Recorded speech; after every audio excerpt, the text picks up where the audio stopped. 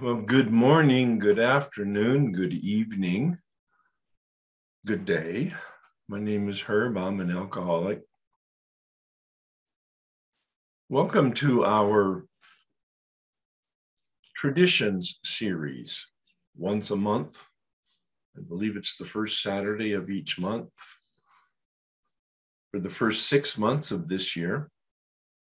Then the second six months on the first Saturday, we'll do similarly with the concepts.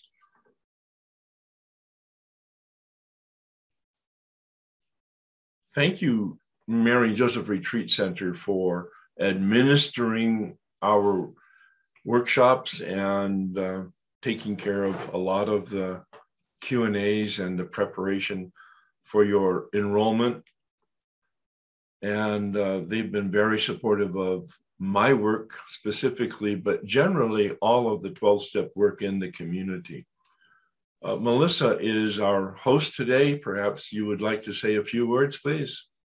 Greetings to all time zones present today. Welcome back.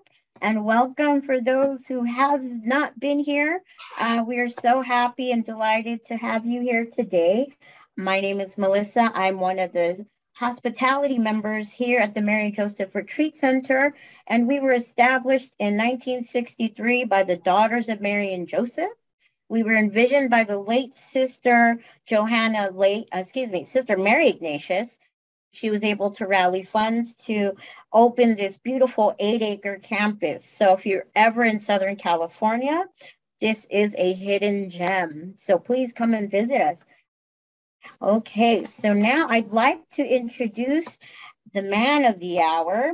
Herb Kagan has been connected to the Mary Joseph Retreat Center for many years, and he is truly part of our family. His 12 step and centering prayer groups have been extremely popular at the Retreat Center for decades, and now since the start of the pandemic, he has moved these popular offerings to Zoom. Herb's journey includes the publication of three books on spiritual awakening, 37 years of active participation in a 12 step fellowship, 40 years in human resources consulting, graduate education in psychology, and seven years in Claretian Seminary. And I'm sure there's more to tack on to that list. So we are delighted that he's donating the proceeds to these Zoom gatherings to our retreat center during this difficult time. Thank you, Herb, and thank you everyone for your support. We appreciate it very much. Thanks, Melissa, very much.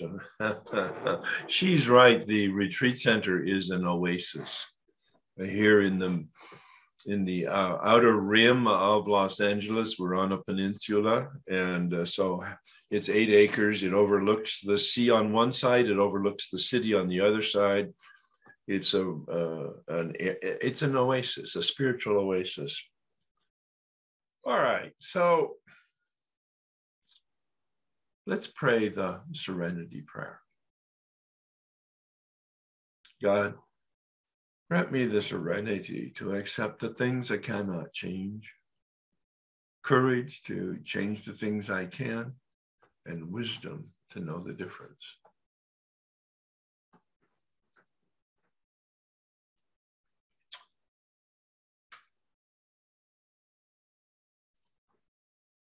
Today, we're going to be talking about the traditions. So, for the people who are new to this workshop today, this is a very different workshop for me in terms of the approach. It's not going to be a lot of teaching on my part. It was set up in the orientation in January for you to have some assignments and some resources and some uh, direction as to do some study work on your own with some worksheets that were available that are available on my website. And uh, for you to do the reading and the studying and the reflecting and the writing. And then today primarily primarily of course I'll always do some teaching. That's just my nature.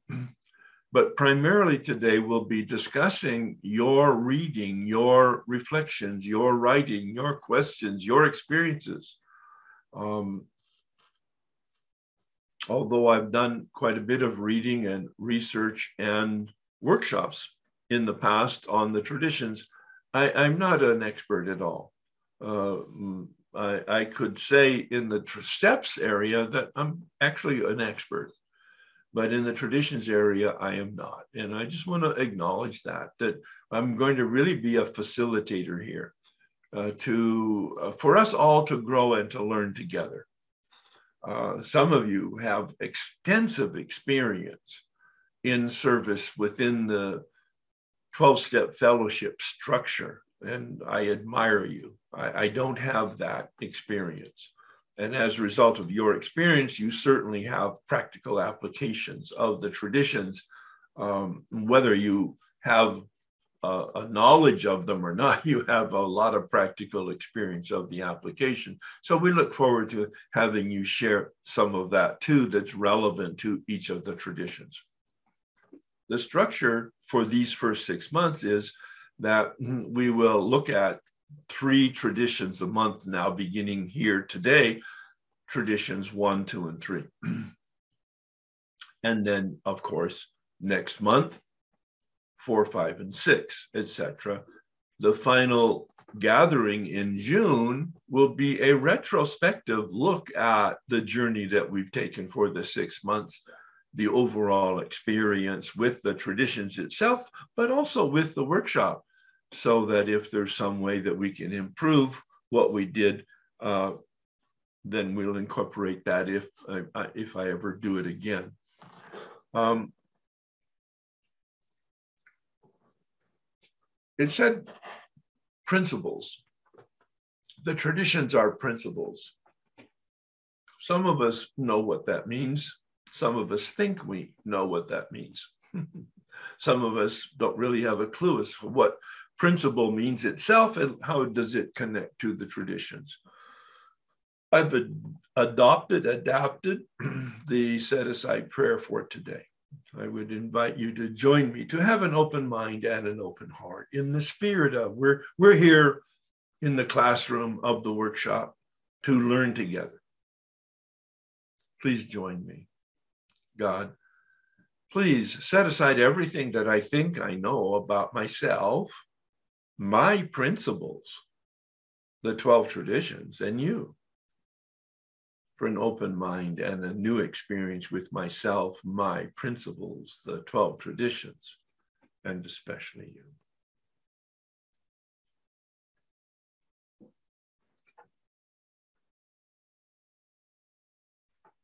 Hmm. So Bill was in a meeting with some folks back in 1940, 41, somewhere in there the big book had just been published. Some guy up came up from Florida and he said, Bill, what what how are you going to avoid having the experience the Washingtonians had? And Bill said, with all humility, who are the Washingtonians? Now, that's an amazing anecdote. It's true, by the way, it's a true story.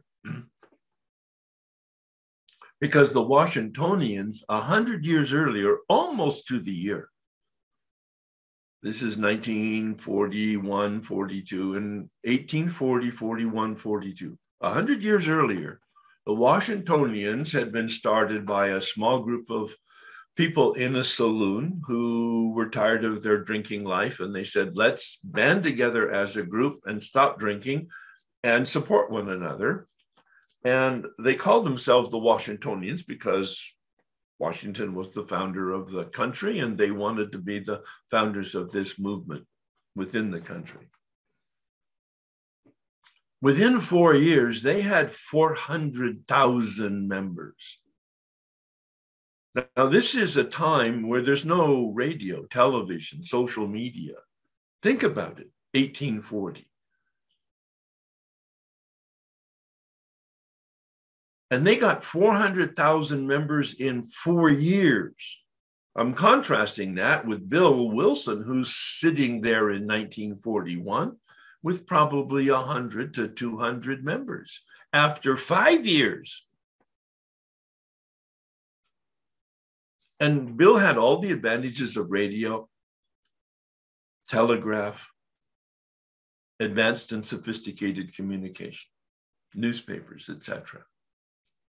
So the Washingtonians was a formidable group. Abraham Lincoln addressed the group. That's the kind of prestige it had in the country. And yet, Bill had never heard of it. And as he did his little research, he found that they had got distracted. They promoted personalities uh, to get the message out. They used newspapers and whatever else they could to promote personalities as salespeople for the program. And they said, wow, this has really worked well for alcohol. They all were sober.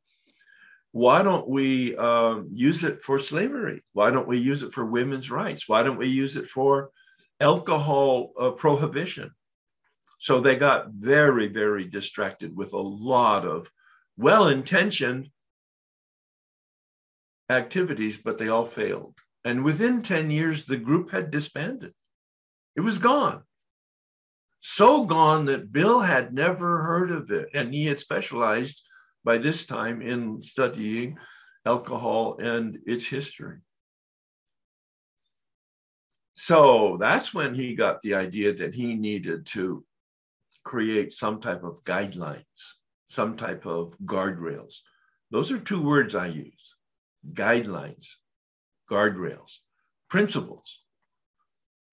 We have a principle of physics, gravity, for instance. It's a law, it's not a regulation. I mean, you can violate gravity. You can do that. There will be consequences. That's the same thing with any principle. That's what we mean by principle. Here, in the, in the human use of it, we mean a core value, a law of nature. In physics, gravity is a really good example. There's principles in emotions, in human behavior. There seems to be some type of universal principles with regard to behavior. There will be consequences of dishonesty. So the principle is honesty. There will be consequences to infidelity. So the principle is fidelity. These are not written anyplace. These come up from our experience. And Bill talks about the traditions were developed on the anvil, hammered out on the anvil of experience. What a great image. Hammered out on the anvil. Think blacksmith. There's a lot of heat, a lot of pain, a lot of uh, learning from mistakes. The problem he was addressing was the group function. He talked about the steps as his experience uh, revealed to him were the mechanism, the methodology for the deflation of the personal ego at depth. The steps. Published and, and, and, and institutionalized in 1939 in the big book.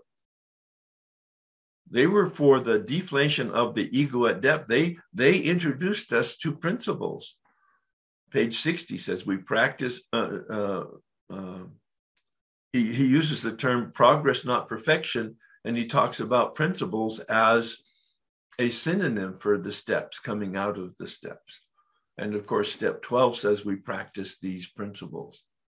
talking about the principles that are inherent to and embedded in each of the steps in all our affairs.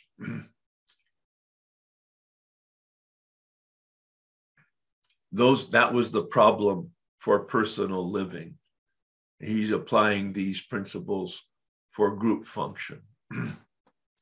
so in 1939, he codified them in the big book.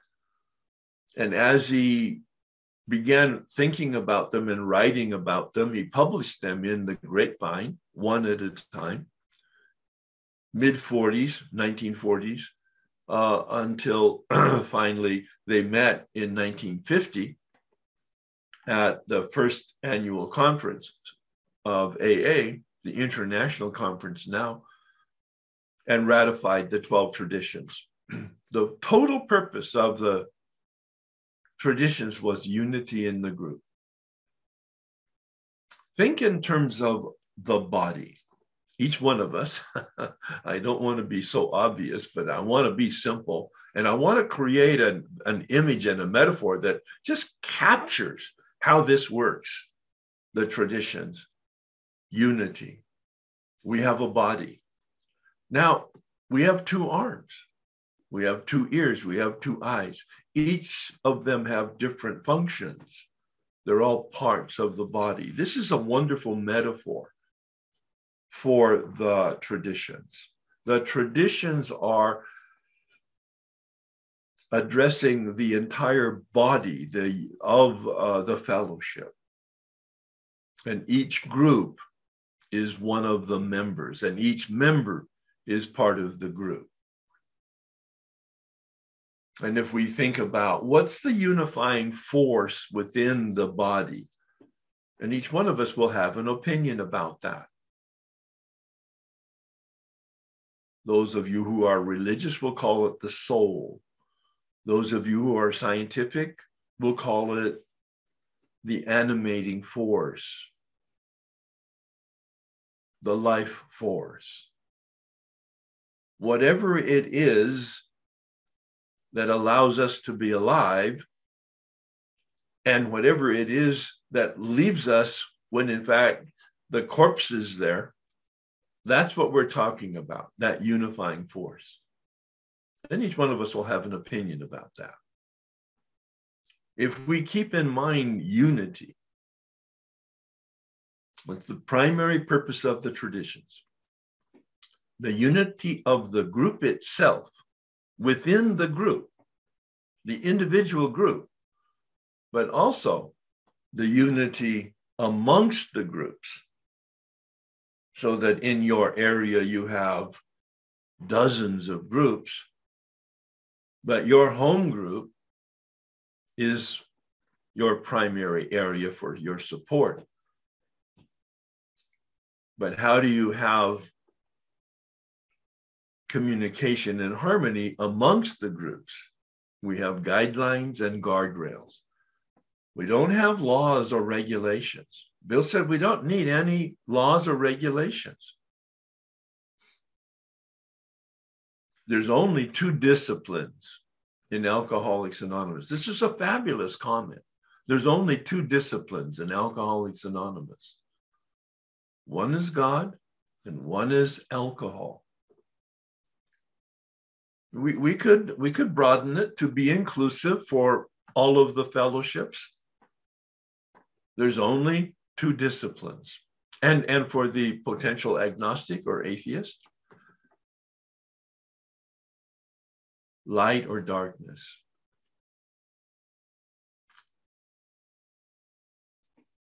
Higher power or, addi- or addiction. It's totally binary. And Bill said, we're going for one or we're going for the other. Notice, or. There's no pause here, there's no resting place. I like that, and you've heard it if you've been around me at all, the dimmer switch analogy. That dimmer switch is either going up toward the light or it's going down toward the darkness, and it doesn't stop. It doesn't rest. There is no neutral. And so I use the mental image of people on the path like you are. I mean, I'm preaching to the choir here because who does what you're doing right now? Take a Saturday to spend some time to talk about or listen to the traditions. Good Lord. people who are really interested in their personal recovery and well being, as well as potentially the group's recovery and well being. So the image is pressed gently up against it, pressed gently. There's no violence here, just gentle. There's no rules here, there's no regulations here, there's no laws here. Just gently lean into the dimmer switch, moving it forward a notch at a time. Well, the same can be said of the 12 concepts, which we'll look at in uh, beginning in July. You know, they're very different purpose. They're really the guidelines, the guardrails, the principles for the life of a nonprofit spiritual organization. If you ever want to, and if you join us for that segment of this year, the, the second half of this year, you will see Bill's brilliance beyond what you've seen in the steps and the traditions. Genius, the 12 concepts. There's even job descriptions and organizational structure. But that's for a later time. Step 12 says we practice these principles in all our affairs, in living our personal life. We practice these principles that are manifest in the 12 steps. Of course, chapters 8, 9, 10, and 11 represent that. Principles in every aspect of our life our significant relationship, our family, our work, our community, and our fellowship.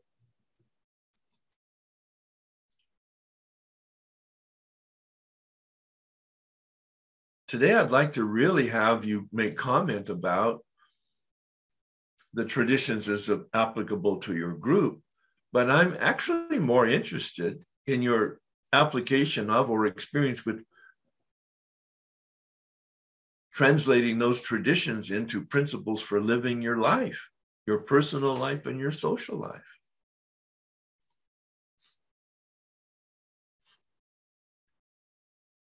This workshop is very different than the majority of my workshops where I do a lot of teaching.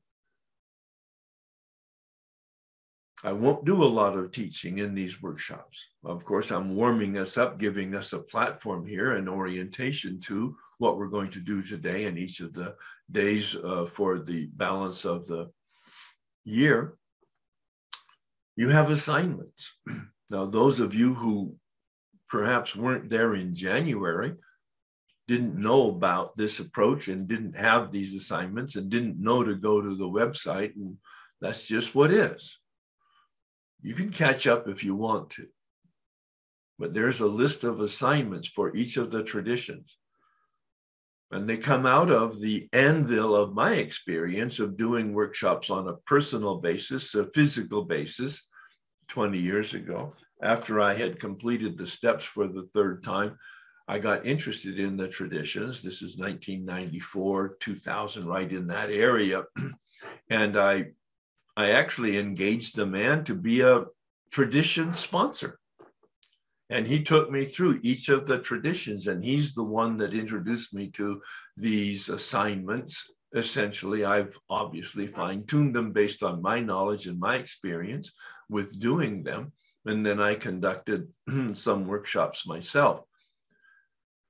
In 2014, I think it was, it sounds like just recently, but my goodness, that was eight years ago.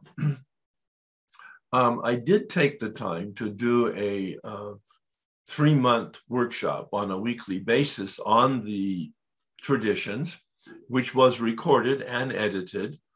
And um, that is also available to you now on YouTube, a podcast, audio uh, podcast on the um, each of the traditions. So you're that's a resource available to you. You may not have known that. I think that podcast was just made available this week also. Um, and uh, it would be about an hour. Each of the traditions would be an hour where I do a deep dive into a teaching on from my research and my experience on each of the traditions. So that would be something that you would want to uh, take a look, a, a, listen to if you're interested in uh, that uh, that information. The key information that uh, I would recommend as a basic, just this is a minimum. I mean, there's so much rich information on the traditions, but the, the, the basic assignment would be to read the 12 and 12. That, that's really simple. It's right there. It doesn't take a lot of research. if you have the AA 12 and 12, there are 12 chapters on the traditions, one for each tradition. And they're short, I mean, three pages to five pages. And they give a little history and they give the spirit of it and they give the application of it. In addition to that basic text and document, there's a Traditions Illustrated put out by the General Service Office, and that was distributed to everybody, at least that we had registered. It's on my website. Uh, oh, I'm sure that uh, Rainey has done something like she talked about in putting it in the chat. Uh, I don't have a technology uh, facility, so I may be awkward in my vocabulary, but you get the spirit of it. The point is, the 12 and 12 and the traditions illustrated would be very, very basic tools to accompany this you in this journey.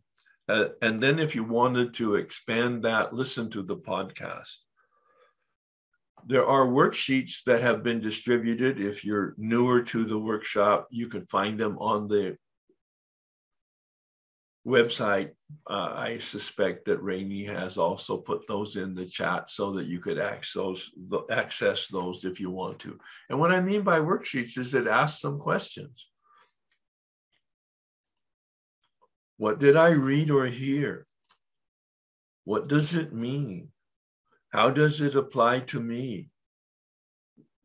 No, they're basic questions, and there's just like there's no right or wrong answer, but they're prompters to lead you to be conscious when you're reading and and and and then picking up some of the information and the experiences that gives you an experience, especially what is the principle of the particular tradition that you're looking at.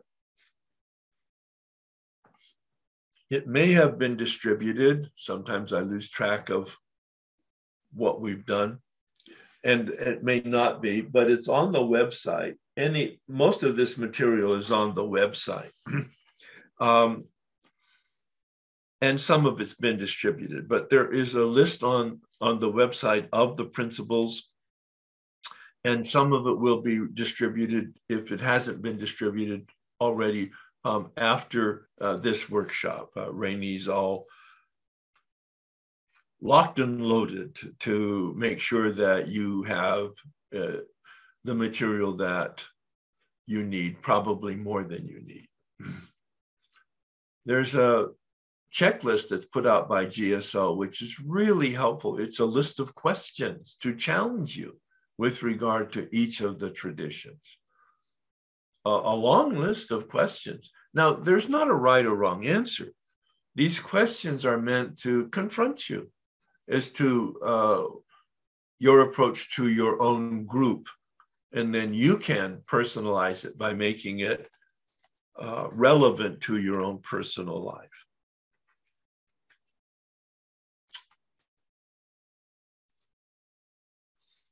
That's the orientation uh, that I wanted to have as a priming the pump for us today as we now look at each of the traditions.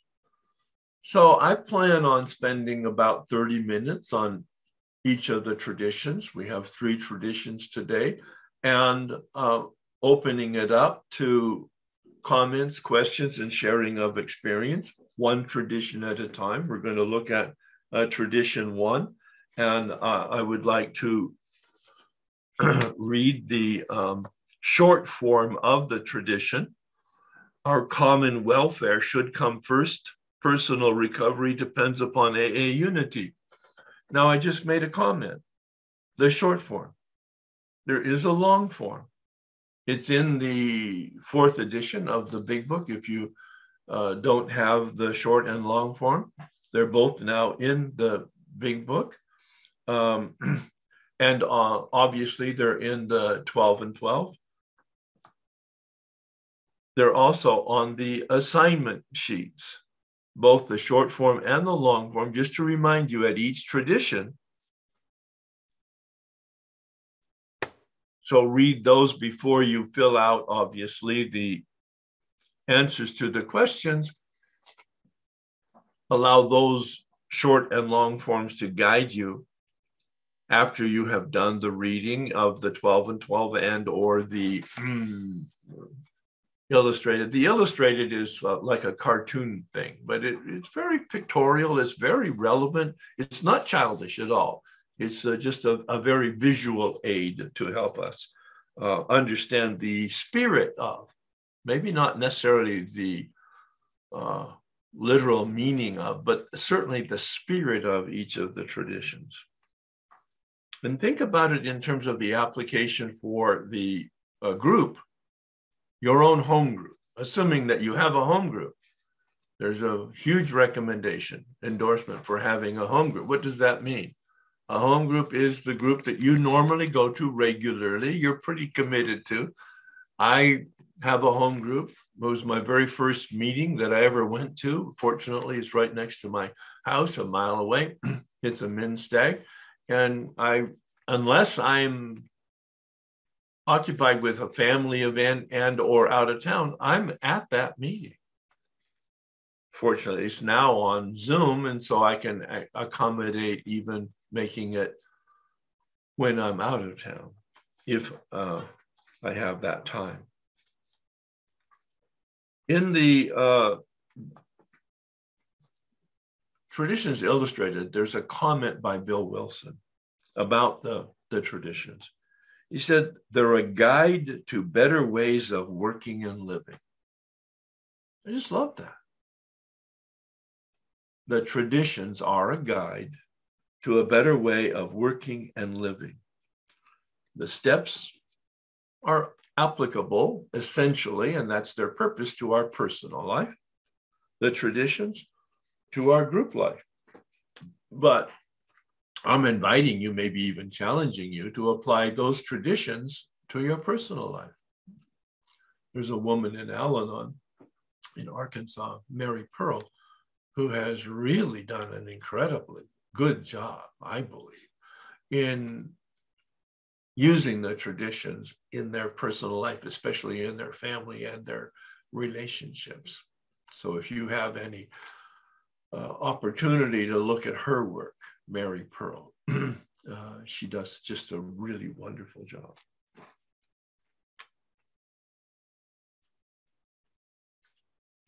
The whole point of the steps, and you, if you've been exposed to me at all, especially step three, know the word alignment. It's not in the big book, but it's the word I use as the key to understanding the purpose of the 12 steps.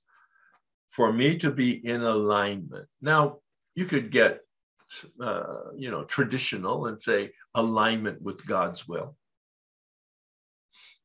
I'm pretty non traditional because I really want to be all inclusive. And I say alignment with reality, alignment with life.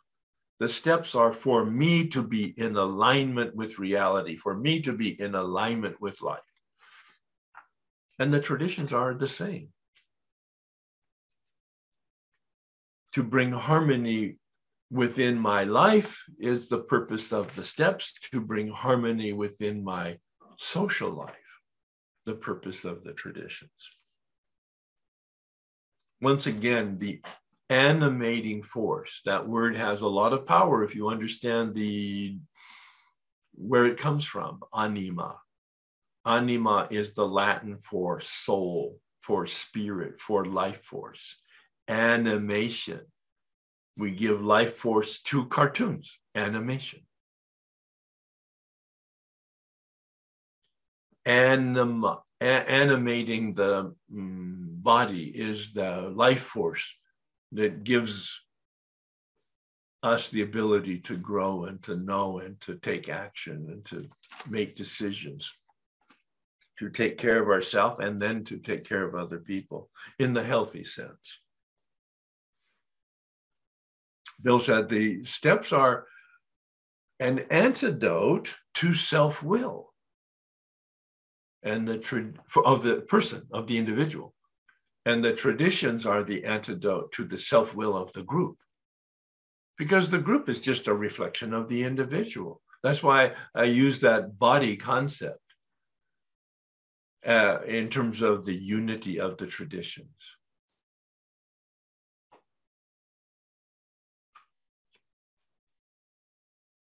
Wholeness, integration, these are the words that reflect the purpose of the traditions. In the 12 and 12, I believe it says that unity is the principle underlying the first tradition, unity. I'm moving on now to talk specifically about tradition one. We'll spend about 30 minutes on each. At the, uh, uh, I'm going to ask you to mm, share your knowledge and your experience and your questions about each of the traditions uh, now as we go through it. Um, and I'll monitor it to keep about 30 minutes for each. and um, so we're looking at tradition one now. And uh, Bill says that the tradition one is, principle is unity, and all 11 of the other traditions is to support unity. I mean, that's an insight. That really helps us understand that the principle of every tradition is unity, but different aspects of it. Melody Beattie, in her book on Codependent No More, talked about healthy emotional development, maturity, as a balance of the individual and, uh, uh and, and, and the social needs in these two terms. This captures balance in the sense of the codependency, balance in the sense of emotional sobriety, balance in the sense of emotional maturity, independence, independence, my personal independence, and my personal interdependence. That's what we're talking about here. The traditions are for the management, if you will, regulation of the group itself, but then the group amongst the groups, independence of the group, but the interdependence of the group. Balance. A relationship of humility. Sacrificing individuality for the better part of the group Bill talked about obedience to spiritual principles as the antidote to personality, principles before personalities. It's interesting, the word obedience comes again from the Latin word obedere. I don't want to be fancy or sophisticated, but these, uh, looking at the root, roots of the words, where did they come from, really reveal the spirit of the word, obedere in Latin means to listen. It doesn't mean obedience. Obedere means to listen, and yet the word obedience does, of course, mean some sort of cooperation. But that listening, that's really the important signal here in terms of uh, the traditions. Listening to the group.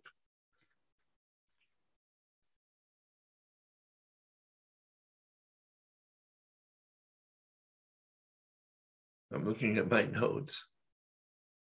I have some other things here, but I don't want to do a lot of teaching at this point. I want to do a, a lot of uh, facilitating of uh, of uh, your questions and your observations uh, from your own uh, reading and experience, especially of uh, of application of the traditions, and then I perhaps can make some more comments um, from my notes as we go forward. Thanks, Herb. I um, I'm really grateful for the workshop, and my focus and my purpose for taking the workshop was to um, improve and use the traditions in my family, in yeah. my in my in my family and in my personal relationships and groups.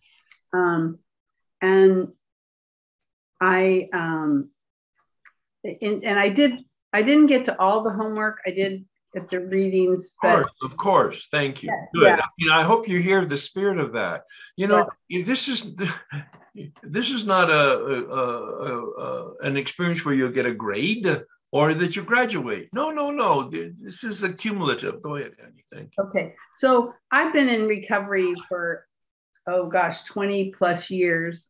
First came to recovery as a you know, what I affectionately call black belt codependency. And you mentioned Melody Beattie. My first working of the steps was the 12 step guide for codependence. And um, that just opened me up to where I am today. Nice. Yeah.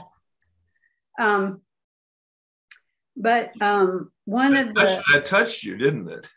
yeah, this is like I'm just remembering where I was. I could hear it, I could see it. It was wonderful. That's right. It cracks us open. Go ahead, please. Yeah, and remembering where I was to, to 24 years ago now versus exactly. where I am today. Yeah. And um, the, this specifically on tradition one, where it talks about um, unity uh, after doing the writing, uh, answering these questions, that one of the things that you know really came over me was how I was raised in a dysfunctional family, not horrible people, but very dysfunctional um, alcoholic family, and um, and I was raised to believe that the family was the most important thing. And um, in my what blew up when my life blew up in front of my face I, and I got into recovery, I realized that I was willing to sacrifice myself and all the individuals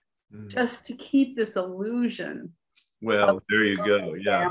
Yeah. Sacrifice has a lot of implications. And again, I'm going to go to the Latin. Uh, bear with yeah. me. Sacri- the word because it's such a, a, critical concept in the traditions. Um, in fact, I have a whole uh, uh, uh sheet of that gives some insight into the each of the traditions where at each tradition there is a sacrifice of some individual component. You may have that or you will have that. Um, it, the word sacrifice comes from the Latin two words, sacer, S A C E R, and facere, F A C E R E. Sacer means holy, priestly, sacred. Facere means to make. Sacrifice, literally in the ancient traditions, was a way of honoring and appeasing, unfortunately, appeasing the gods. So it has a real, uh, how would you say, restorative connotation here. When we talk about sacrifice, we're not talking about punishment. We're talking about bringing some sense of fullness and wholeness to the person. Yeah, I'm sorry to interrupt, but you're the That's first. Okay. well, what I thought was so uh, wonderful in doing the homework on this one was how today I realized that, um, and I learned only through the 12, my 12 step work in um, with the traditions and with my meetings and at different times that um, the importance of this is that um, let's see, I want, how do I formulate this? Um, I've been in dysfunctional meetings and was able to practice the tradition. And I've, I've learned that I have a choice. I can walk away from an, un, a, an unhealthy meeting that's unhealthy to me, and I can go someplace else. Or I could stay and um, but in early recovery, those were only my choices. I either had to stay in the dysfunction or cut it out, you know, cut myself off. In early. In early, in early recovery. That was those were my only choices. What are your choices now? Well, today, this apply, I can apply this principle of humility that I'm one of a group of really awesome people who are we're all you know we're all human and we all are sick and and um, it's not my job to save my family, and I don't have to cut them out of my life because I don't agree with all of their life choices. I think it's a very balanced approach because in early recovery, you don't have the skills and the resources to deal with dysfunction. But later on, when you have some conversion yourself, some substance yourself, you can stay in a meeting and be part of a solution rather than be subjected to the problem. Yeah, I love that. That's a great distinction.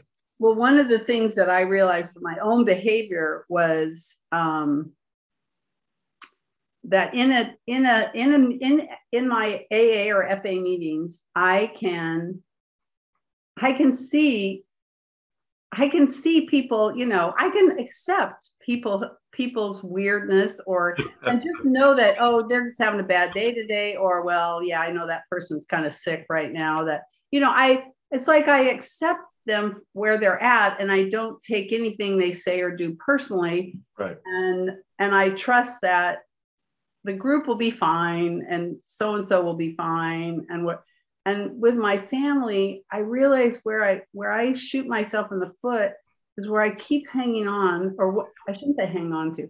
When i go back to try to play this you know super mom or matriarch of the family who's going to save everybody and not you know help them not make the mistakes i've made in my life. And and just you know, to back away and just you use the word reality, alignment with reality, accept reality that like my children, my my nieces and nephews, they're all, you know, in their 30s, 40s, and 50s.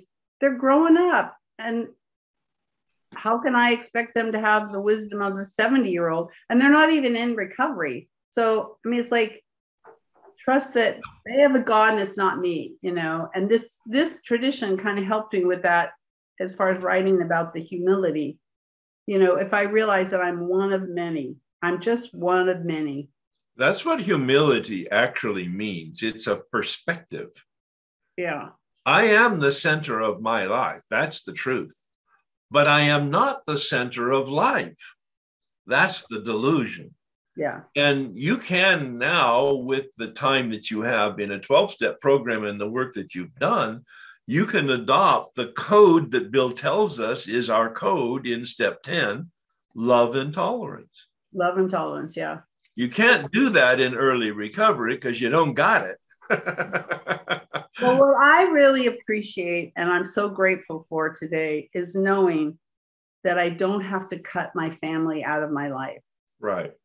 That I can still be a part of this family. To the extent that you can. And if you find that it becomes something that you cannot somehow adopt to or ad- adjust to, then you just leave it for a time. And yeah, yeah, but you're realistic about the balance between your connection to yourself and your connection to your family. Yeah. This last year or last two years has become especially painful because national politics, the pandemic, and uh, vaccine the versus no vaccine has just really created. And um, so I'm like really wanting these traditions more than ever. Yeah. To help to be a part of the solution, not yeah. a part of the problem. I guess that's what it is. Well, I think that that's that's almost an operating principle that would be very healthy to hold in a meeting uh, treat the meeting as a sacred space, as the, a healing space, and yet uh, you can use judgment that uh, if there's something that's irremediable that you cannot contribute to, that you are realistic about that. Yeah, yeah. Yeah, but be part of the solution, not part of the problem. And if you have to walk away, then do that but it's much better for seniors like ourselves who have some time and some wisdom, hopefully, to be there in a loving and tolerant way to be part of the solution and to help lead, to help lead literally by our role modeling uh, the group to a more uh, healthy uh, environment. Yeah. Yeah. Thanks so much. Traditions have become so much more important to me over the last two or three years and it was spoken about just now um, in the last couple of years so many things have come up that have been so controversial right. that no place in our groups but because we're human beings brought into the groups a lot of 10th tradition stuff first second fourth but um, that it's become really vital. It's like we've had another compressed sort of thing where this is the microcosm, you know, of the whole world in our little groups. And it's a really, really good insight, by the way. I hope people are hearing that. That there's never been a more important time to really uh, understand and embrace the traditions. I'm really glad that you're making that point because the, the world is thawing out and we're going to come back to normal sometime this year, I do believe, whatever normal means. And so I think that's a wonderful insight. Thank you. Go ahead and I didn't mean to interrupt, but I, yeah, I do want to support that. Yeah, I just, it, it's just so funny because there's, you can, you can take this out really far. I mean, I think AA is the ultimate democracy yeah. and we're looking at uh, all kinds of things on on the grand scale and when we bring it down to hey you guys we have to be in this together. So whatever super important thing that we know we're absolutely right about we still have to set that aside because we're all on this ship together. And if part of us goes down we can all go down. And then we don't have the whole entity to keep us individually sober if we don't have that. And i um i just think it's it's it's vital that we um consider when we're when we're when we're having these very very strong feelings. They're valid. They're all valid in the outside world but we have to put them outside the rooms nice. when we come in. And and when it comes to things like say you know, there's a law in the state or something. The law comes before AA. You know, we have to, we're, that's where humility comes in. We have to have humility. Yeah. We're not more important than other people, and our common welfare comes first. And yeah. I love that because that puts my selfishness and my self righteousness aside, and, uh, or it tries to. And, uh, and yeah. then we all get to group together and band together and stay keep this wonderful, wonderful program afloat. Thank you. Thank you so much for your comments. And they really support what's said also in the sense of humility is a perspective. And, and, and the way you just articulated it, that's the perspective. On page 14, Bill uses the term sacrifice, uh, 14 and 15. At the very bottom, the very last line, he says, For if an alcoholic failed to perfect and enlarge his spiritual life through work and self sacrifice, for others. That's the whole point. I sacrifice my individual personality for the principles and the good of the whole. Now, there's a balance here. We're not talking about martyrdom. We're not talking about right. uh, suppression of the individual, but what you had said is about perspective and humility. And you talked about uh, being right, and that that's an uh, unfortunate uh, human quality. All of us have it. Um, but the challenge that I give myself is do I want to be right or do I want to be helpful? And, and helpful, all, if, I'm, if I'm fit, helpful always wins. I want to be helpful. And it keeps it really simple. I look through the lens. Is this going to be helpful? This word, this action, this attitude? What's going to be helpful? So I really appreciate your comment. So there's an issue that's come up in my group, and um, somebody raised the issue. And what I've learned through being in a particular individual's big book workshop is when I have a strong emotion, I got to look at that. Like when someone brings something to, to the group and it makes me immediately have a, a strong feeling. Um, you know, this first principle of unity, what I do is I look at that person's point of view as if my life depends upon it. mm. like because their ability to bring whatever they need the only requirement is that you know in Al Anon that we've been affected by alcoholism so i looked at it and, and what ended up happening is i realized that what he brought to the group had to do with the position i was in and that i hadn't gained clarity on something and what it would mean. And I had actually put myself personally um, at risk on behalf of the group, but the group didn't ask for that, you know. and I would have to take action that was in my best interest and in the group's best interest because and when I spoke to my sponsor, I was like, but I don't want to do this. Like when I don't want to bring up a tradition, like when I don't want to bring up a tradition and I also don't want to like correct when we, we do a 10 step, you know, continue to take personal inventory. And when we're wrong, personally admit it. And that means I have to change my behavior. So if, if I've, you know, in, I signed up for a service on behalf of the group and I realized that I clicked terms and conditions and I wasn't, we weren't in agreement with the terms and conditions. And so I had to take action. And um, it really reminded me of all my different positions over the years where, you know, for so many years, I would bring out the traditions to defend or argue, you know, to defend or argue. Like, how am I gonna, I'm gonna get attacked. Like, I've got to be ready for anything. Like, let me know all the rules. And then to argue against why that other person's wrong and the awakening I had, and it just brought me to tears is I am doing this. And then, and the way I showed up for myself, it made me so incredibly sad.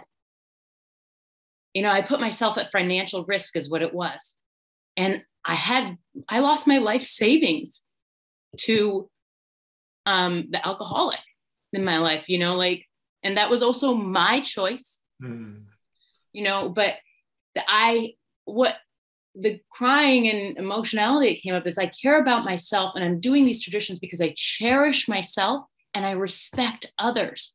It's not because, you know, and um, then I just started thinking about how the groups exist. And then I thought about how I was able to walk into a door and no one else in my family did. How did that happen? Like, how am I here? Like these traditions are what kept these groups growing all these years. Like the importance of them and the beauty of them. And um, and then it also gave me this huge, the real thing that came out of it was so as far as it relates to my family, I got a, an email from my brother and it was not kind. but instead of arguing back, I wrote, I'll keep that in mind. I love you. like nice, nice, nice. But see, there, that's a, you took the high road there. You just took the, you responded, you didn't challenge, you didn't correct. That was that's really a model of what I say to my mm, the men I try to help. identify the principle, always take the high road, and be generous. Yeah. And then the other thing that made me really see everything is for Al Anons. You know, Al Anon's so sneaky because we don't realize what issues we have when we walk in the door. We think we're coming in as favor to somebody else, you know? Right. And so I think it's the fact that we don't have to say I'm Ashley and I'm an Al Anon. And even that word, it's like I'm I'm at Ashley and I'm addicted to approval. Like right. I'm Ashley and I'm addicted to control. I'm, you know, whatever it is, I'm addicted to anxiety. Mm-hmm. Um, and I, I, I realized I have a case. I'm ODing. This is the term that I came through in my writing. I'm in obsession, and then I'm in dis- disassociation, delusion, denial, and distraction. That is my Al Anon disease, IOD. And how do I know IOD? Well, I track my sleep. I'm not sleeping. I'm not eating properly. I'm not present. And the real, like, come to Jesus moment happened is when I was, because of my obsession of this group issue, which has happened, you can just name any issue. I mean, I could have spoken to a, a clerk in a way that I, you know, it could be anything. Um, but this particular issue, how it affects me, how it affects the group, it will be a lot of work because it will be a lot of work for the groups to do things properly. Um, and it won't make it easy now for everybody. And so the thing that I realized was um, when I was, I hadn't been sleeping properly and I was getting the groceries out of my car with a couple dogs in my hand on the side of PCH. And I let go of one of the leashes, you know? And the dog ended up being okay. But the day I came in to Al Anon for the very first time was because I caught a baby that the alcoholic had dropped. And so I just saw very clearly how my obsession and disease thinking could have cost an innocent being its life, you know, because I wasn't fully present. I, I was elsewhere. And so that was the whole thing that kind of came together. And then just also that I'm able to really see what the Al Anon disease is like really, really see what the obsessive thinking does.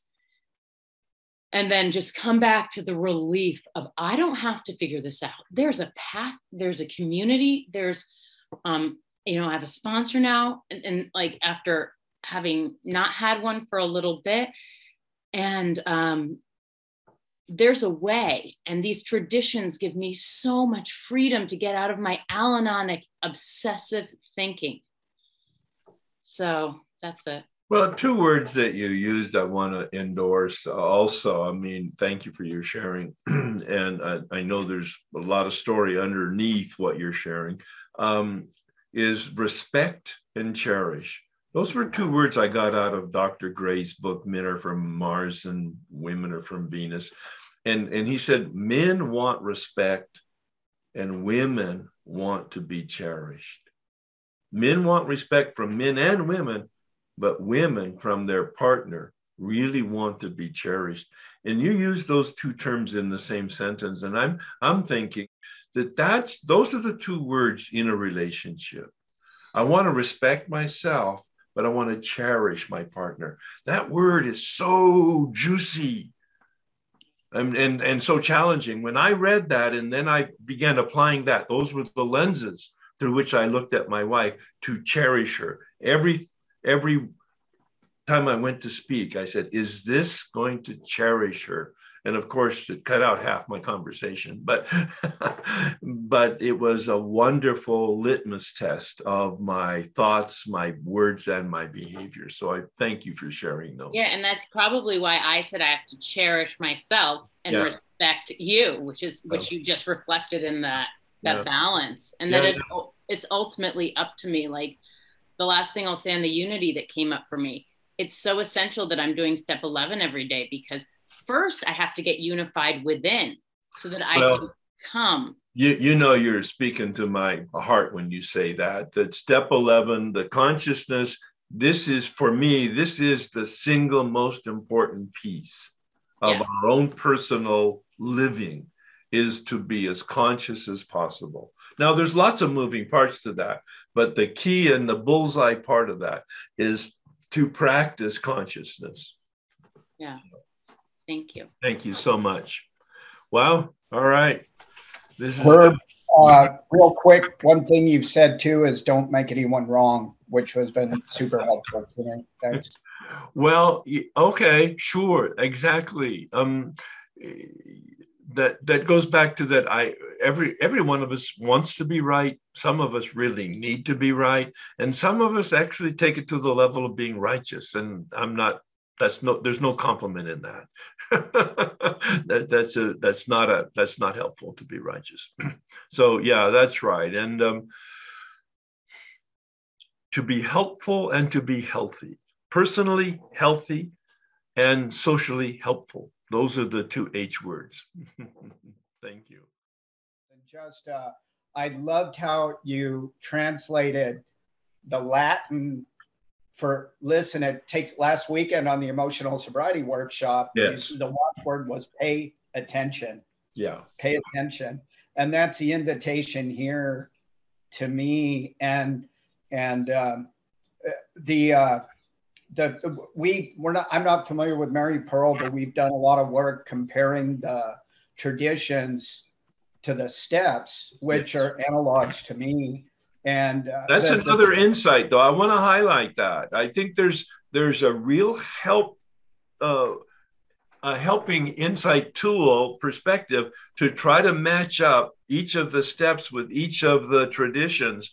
Uh, I, I do believe, uh, and you use the term analog, I'm not even sure what it means, but there certainly is a connect, I think, uh, uh, uh, organic connection between each of the steps and each of the traditions. Yes. And to me, that the unity of the first tradition is contingent on the people in the group having that mutual surrender and that identity of something outside of this program kick my butt. Yeah. So yeah. I'm willing to listen and participate. You you mentioned humility, which I agree, martyred, you know, so humility, I think you said last week, is staying right size. And um, martyrdom, I mean, I could be a narcissist or a martyr too. I mean, both of those are a lack of humility, and both of those I've been in a group.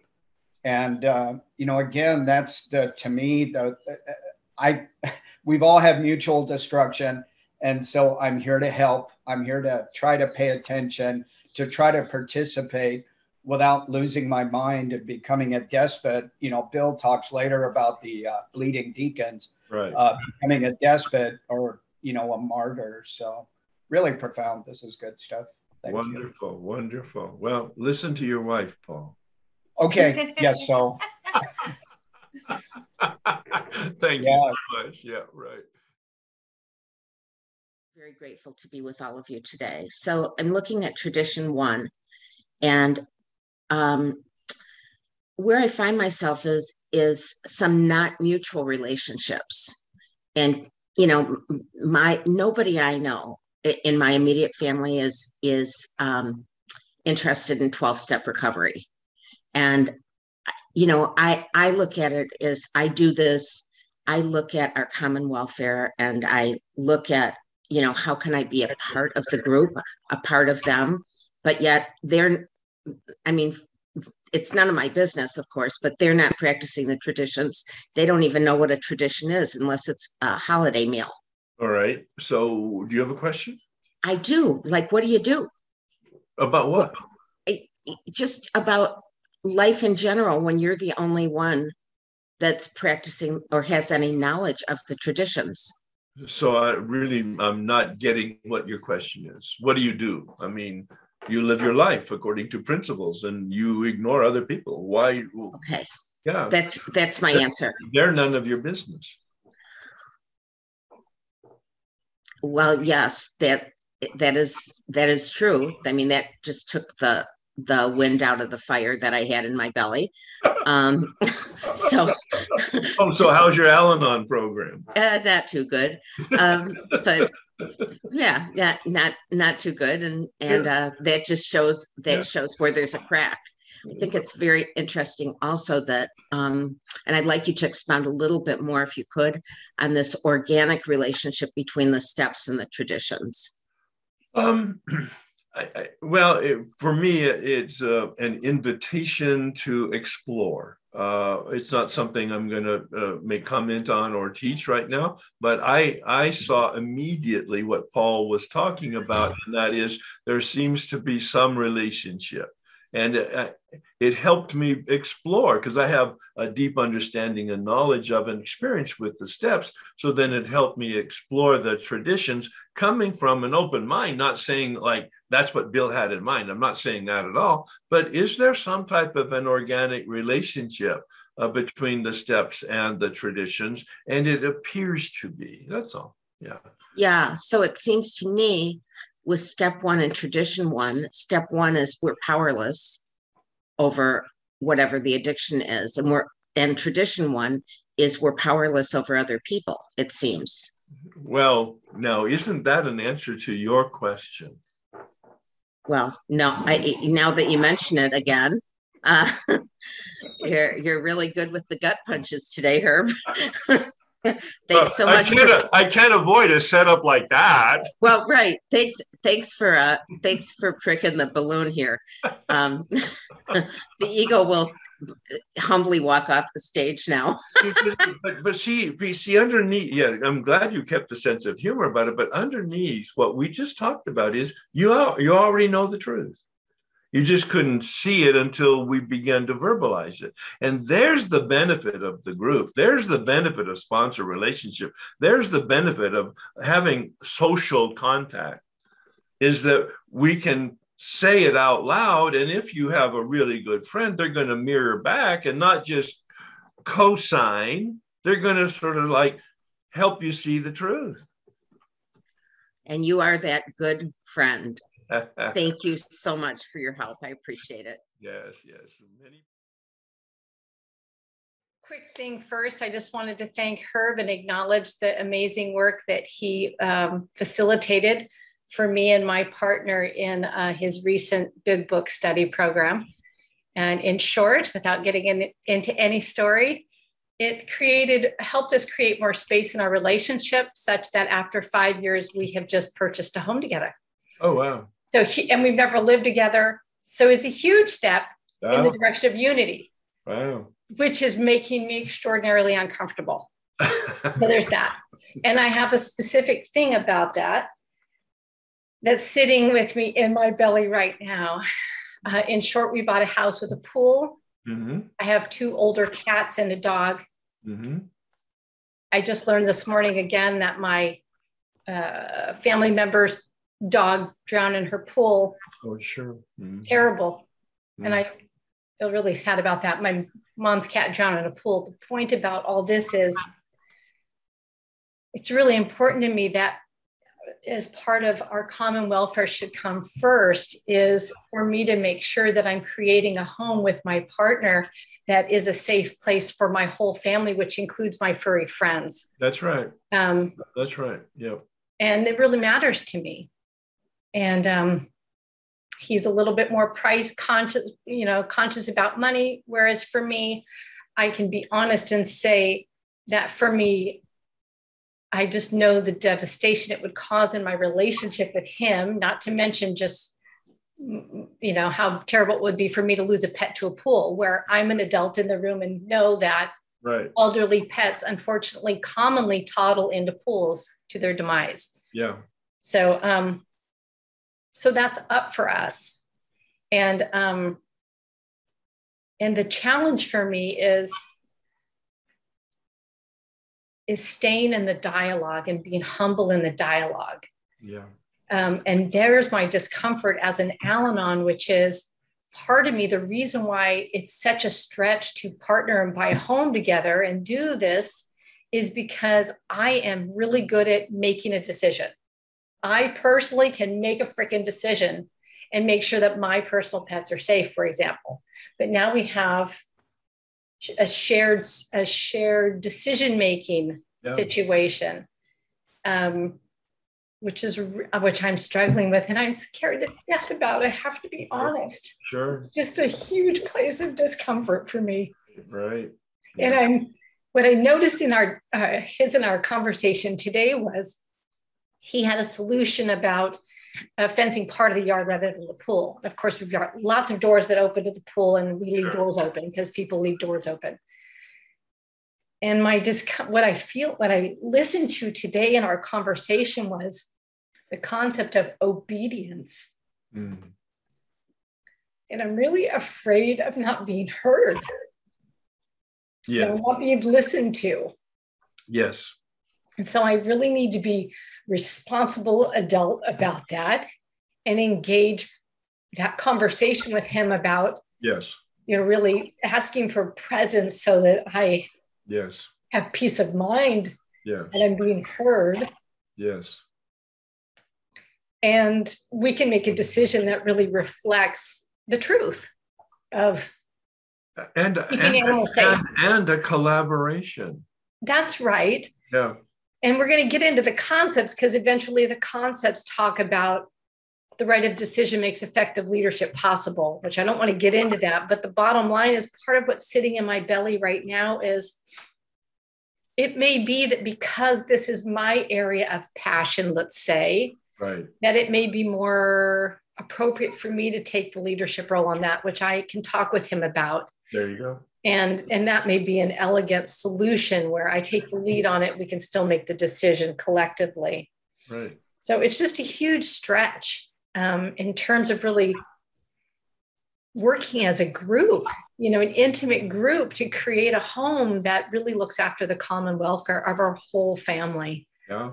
And um, and I just wanted to say I have some discomfort about that, as I'm really honest about. Sure. Yeah. If you And really, um, if you really want to grow spiritually, be in relationship with another person and buy a house with somebody or what. That's and move in together. So there you go. so, yeah. So here I am feeling those growing pains. So yay, yay, yay for me. yeah.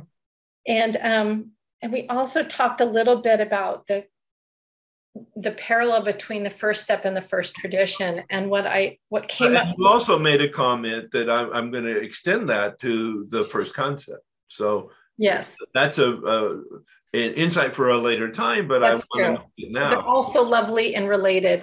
That, They sound so lofty, but they're so practical, is my that, that's exactly right. Go ahead. and I'm grateful that we're, I feel like I'm turning up the volume on the conversation of it, of being more aligned in my life Yeah. and acting more like an adult in terms of dialoguing with other people, which I'd rather not do because it seems very inefficient on some level. Just Oh. get out of my way. and, you know, so I can make a decision, you know right. but there I am alone doing that, which is one way to do it quite happily, but it's not the decision I've currently made. So, but the parallel that I see is we're either in the first step, I'm making, I'm, I come into Al Anon because I've been aligning with what I'm going to call al- alcoholism or addiction. Yeah. That has been my alignment Mhm. the so because the first tradition talks about unity so there there i am unifying with that and the first tradition is inviting me to really ask myself is that the choice you want to make? Is that really where you want to align? Or do you want to align with something else that feels healthier and more spacious and more light? So there for me is the decision. Yeah. and um, it's not that I automatically align with another person, it's I align with a principle, or, and I can at least call it the principle of health and well being, for Yeah. example. Yeah. Cut the God part out just, Exactly. just to keep it super clean. Super And- clean. And I can make a decision to align with health Yeah. and um, and not compromise that because that in my belly is not something that I personally can compromise. And again, as somebody else said earlier, it's not about for me trying to. There's the there's the fine line. There's that God line because it's not about me trying to say, "Hey, everybody else, you need to line up this way because this is what a straight line looks like." Right.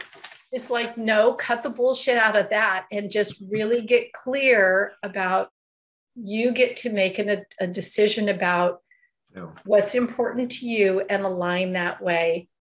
And I know it's a little tricky when there's another person in the picture. So I'm going to have to keep a really open mind and Yeah. also practice listening at a much higher level Yeah. and being willing to be in that dialogue so that I can keep in a partnership working towards co creating something that is healthy and beautiful. Did you hear the words that you just used? I hope everybody heard the words that I you don't know just that I heard them. So, partnership, yeah. co-create. And that's a foreign language and a, and a bit of a four letter word for me. So, yeah. I, I, I, you know, there I am humbly admitting that. Yeah, yeah. Well, and but but here you are open, talking about it, learning about it, challenged by it, uh, adjusting to it. Right. Squirming. And that's okay. Well- that means at least it's getting looser, you know? Well, yeah, and and it a, a, a phrase that's come to me just in the last oh probably six months or so, and that is, it says practice these principles in all our affairs. I said, you know what? We're really just practicing life. Right. We're just practicing life. And we always will be practicing life if we're awake, because what you're talking about is being conscious. What you're talking about is being awake. And when you're really awake, you're aware of other people. Yeah. And I, I think you're touching on the part of me that when I don't feel heard, I I feel like when when I'm not when it's not reflected back to me, I understand it's really important to you that you're that you that you have a really solid peace of mind that your animals are safe, and right. I really hear you. Yeah. And and I can see that when I don't have that, that's the part of me that gets super agitated mm-hmm. and that wants to cut, make a decision, which means cut him out. you know, and and I, and I need to practice an open mind and some prayer where I can really keep coming back and staying committed to the I get to be heard and I and I can ask for that too which hopefully will help be a a flag or to presence him to say I really want to have a conscious conversation about this because this really matters to me and it's really sitting poorly in my belly. Yeah. And it makes me want to walk away. I don't need to necessarily say that. Oh no, you do. Oh no, do. no, oh no, oh no, you do need to say. Okay, because that's a part of me that's like, no, you pack that shit up. No, no, no. You reveal. Okay. Not, not. You're not. Uh, how do you say? Mm, guilting him or scheming him or or manipulating him. You're I feel so vulnerable. It almost feels threatening. that's where you're. I think There's connecting to the soul of another person. Say that again, please. You're connecting to the soul of another person. You're allowing them to be with you vulnerable too, hearing it. And um, you're in a partnership with them, with this person. Yeah. No, I, I, I, I'm not a relationship counselor. well, I just want you to know you're responsible for part of this, Herb. So. oh, go ahead, blame me. I'm, I'm teasing. I mean, I'm not teasing, and I am teasing. I right, mean, right. the work we did created the space for this. Nice. And um, and here we are growing through it. So thank well, you. Well, there growing through it. Yeah. So that's right. And, and I'm just uncomfortable, and it's okay. Um, yeah, and talking in an environment like this allows you to explore that, to feel it, and then you'll be able to talk more um, effectively uh, in your quiet, intimate relationship. Thank you so much. Nice. Um, so, tradition two, we're moving on. Thank you. Tradition two, short form, which is interesting that the short form is longer than the long form. Yeah, I know. Look at look at the uh, the worksheet. It's so it was so funny. For our group purpose, there is but one ultimate authority, a loving God, as we may express himself in our group conscience. Our leaders are but trusted servants, they do not govern. Uh, so, this is about the group conscience. This is about believing that the body, the body is animated by this life force. I mean, obvious relationship to step two. uh, in, in the metaphor that I'm using, in terms of the unity, what brings unity to the body? My body is unified because of the life principle. When the life principle goes away, so do literally I. Although nothing looks any different, as a corpse, I don't look any different than I do right now, other than I won't be moving and talking. All right. So there is some type of life force principle in me that makes it all the moving parts and brings them all in integration. Then that's what we're talking about here. Um,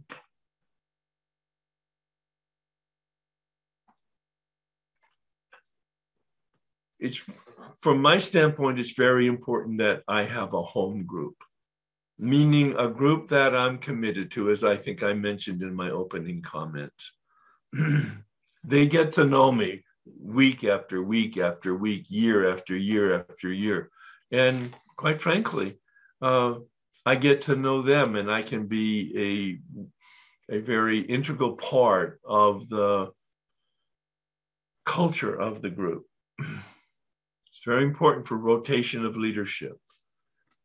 Initially, the group, my home group, had a leader that was there for 10 years as the chairperson of the group. Once I got some information uh, and transformation from the step work and then some information from the traditions, I began to suggest that we have like a group conscience, like we have a, a leadership group that, and now we we rotate leadership once a year. It's very healthy for the group to have that rotation so that no one person becomes identified as the authority and or the leader of the group. It, it's just human nature. It's just human nature. There's no bad or good. There's just human nature. Uh, in one of the pieces of literature, it uh, indicates, might be the 12 and 12, that this elder statesman, in, in, the best of senses, the, the connotation is the wisdom person in the group, has sure knowledge, quiet opinion, and humble example. Sure knowledge, they have some information.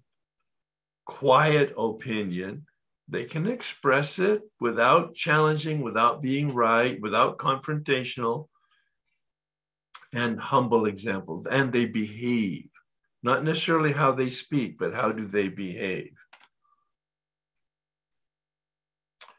There's a principle in the 12 and 12 in tradition too that I adopted as a life principle for me, and that is it, it, it takes a minute to digest and unpack the good may be the enemy of the best. I had never seen it before. I'm, it was about seven years ago. I was reading it for some reason, and my life circumstances are all changed. And uh, it was a time for me to reevaluate many things. and um, and I, whoa, okay, that I love the pithy wisdom kind of sayings, things that are filled with something to mine. And um, you've heard me speak many times about different things. The good may be the enemy of the best. And as I thought about it, oh, Herb, you're good at many things for whatever reason talent, exposure, training. I'm good at many things. But you have a talent, one talent that's absolutely outstanding to the extent that you're doing 12 good things, you're not focused on the best thing in you. And now, as you get older, you have to be conscious of economy of energy and time. And so I made a list of all the activities that I have in my life, everything. And I ranked them, one being the best, the bullseye, and others being really good stuff two, three, four, five. But relatively speaking, not all of them the best, but good stuff. I mean, there was nothing on there that was inappropriate or out of line with decency. I was contributing. But I said, to the extent I'm not doing number one, that I'm doing two, three, four, five, I'm not doing number one. So it took me three months, but I eliminated everything that wasn't a number one resigned from board, stopped activity, changed uh, behavior in some area. The freedom that I felt from that. And that's why I'm, I'm bringing that principle to you in, in a more um, unpacked way.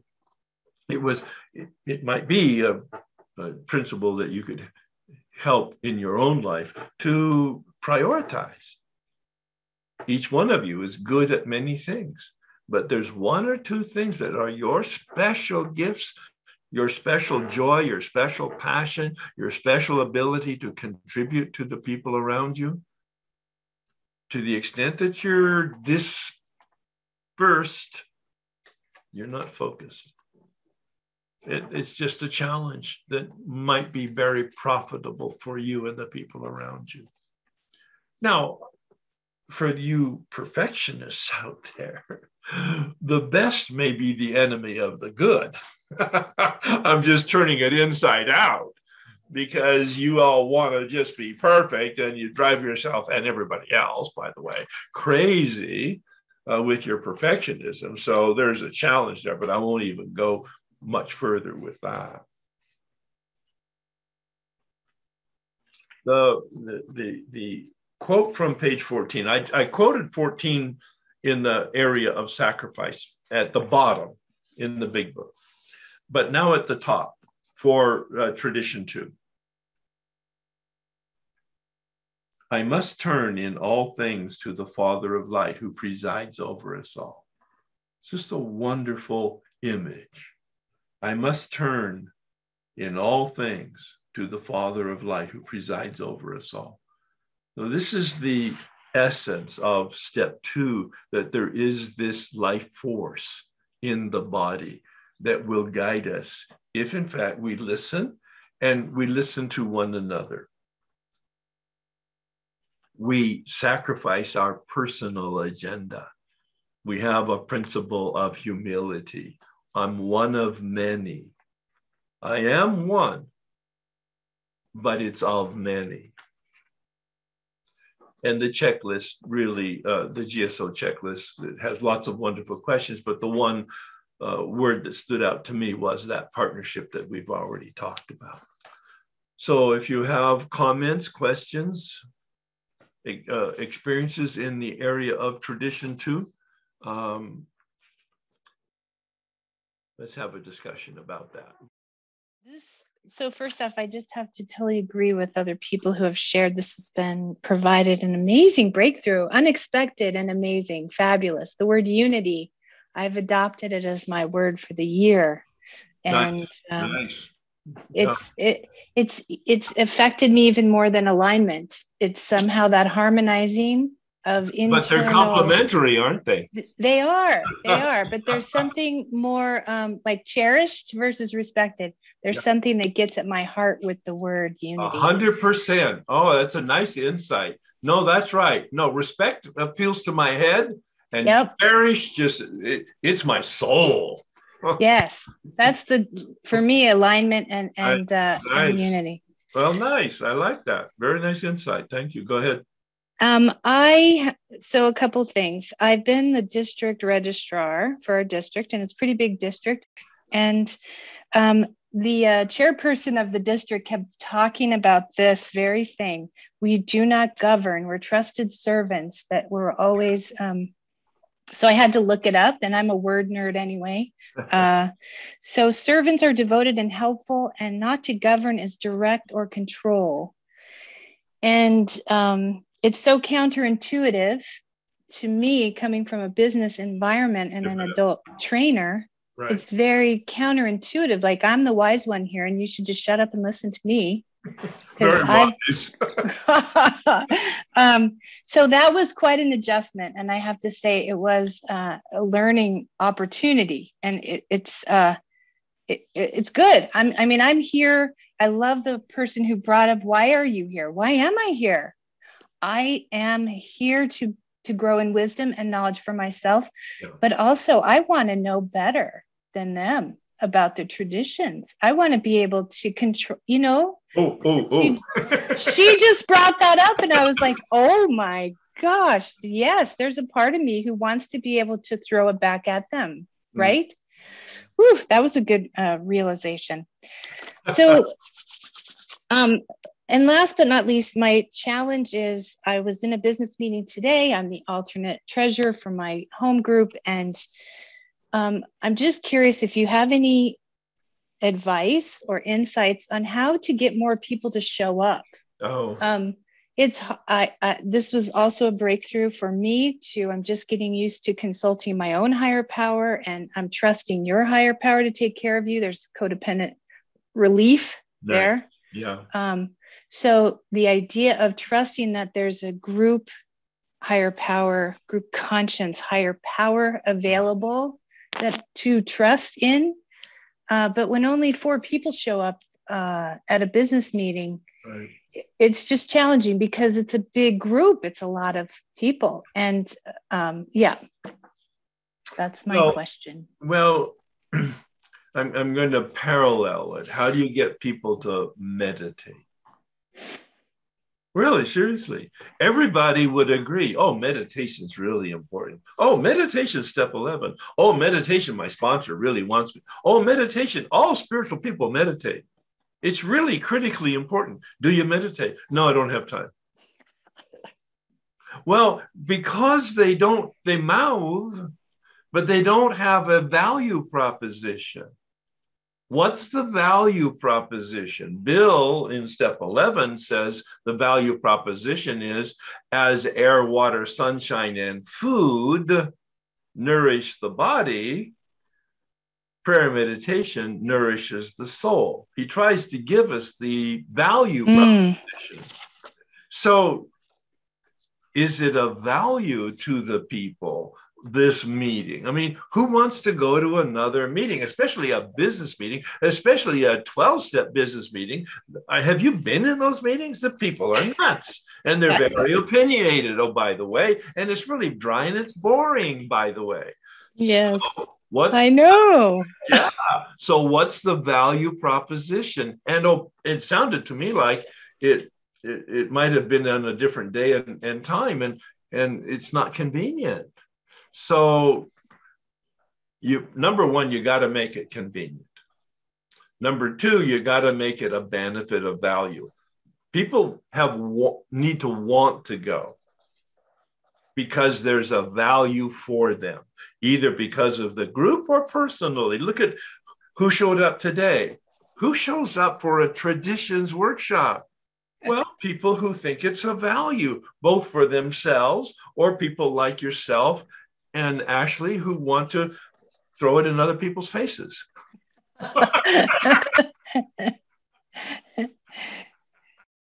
well, yeah. but but you also have to be realistic. Now, I come from I come, yeah, I come from corporate environment, and I I've heard teachers who come from a teacher's environment, and it's an operating principle. 20% of people do 80% of the work or 20 or 80% of the talking. And it's the same in my workshop. Ashley's been in my physical workshops. All right. It's the same 20% of people that participate, whether it's physical or whether it's a, a, a Zoom workshop. It's the same 20. I mean, they rotate, but there's about 20% that step up and participate. Now, whether that's a personality thing or whether that's whatever it is, it, it, it seems to be a very truism that no matter what the environment, 20% are present in the sense of active and 80% are not. So deal with reality at the same time, but it has to be convenient and especially in today's environment where there's so much to do and many distractions, many things that call on us.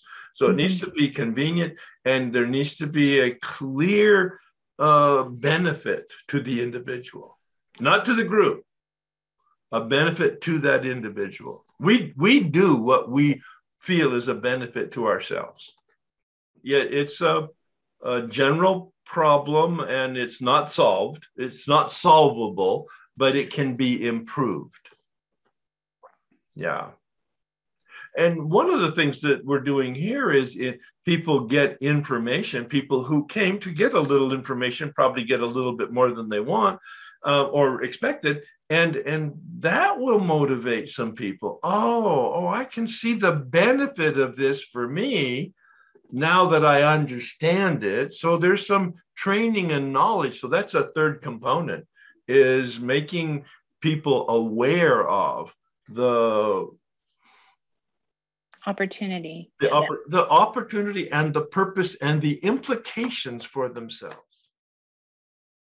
I think about uh, tradition two uh, what came up came to mind for me was uh, a number of years ago i attended a PRAASA um, and went to an al-anon PRAASA workshop and um, it was it was on tradition two and a member shared about um, the group conscience and the importance of the uh, the the person that abstains from the group conscience and um, Good. and i and i um, it really opened my mind a lot and what what i've been able to do in meetings uh, since then is like when we do take a group conscience if there's an abstention it's like to you know be the devil's advocate or whatever and and ask you know hey you know could, would you would you like to share with us why you uh, abstained even after there's been discussion heated discussion or whatever is to still to still be willing to do that you know Right. and um, sometimes you know like at some some meetings beyond the group level that i've been in and and even gotten to chair it's like sometimes people don't want to you know hear any more discussion because uh, you know they don't have the time they want to go home or whatever and um, but you know there's been a number of times over the years where i've seen where you know hey keep an open mind like maybe this may, maybe this hearing this person's uh, point of view might uh, might benefit the group. And um, and i've even seen where where we've set up um, you know thought forces or whatever on something after even after a group conscience has been been taken is like the group has decided to hey why don't we do a thought force on this and look into the a little bit further? What's the word? What's the phrase you're using? I've not heard it before. thought force um, well in al-anon recently a number of years ago they started putting together um, and they're, they're using terms that i that are really corporate type terms but, I like I like the term. Could you say it And they use- thought thought force is that's when you Thought look into force. something you look into th- something and then they actually have after that after that thought force reports back to the group or whatever and then and then you actually have a um, i forget task a task force. that actually implements I, that I see. Thought force, task force, kind of like a brainstorm session. Right right and, and Ah, and then sometimes you can have that intermingled where you have a thought Right. force no, force no. I'm. I'm so glad we're having that conversation. That's very interesting. Yeah. Yeah.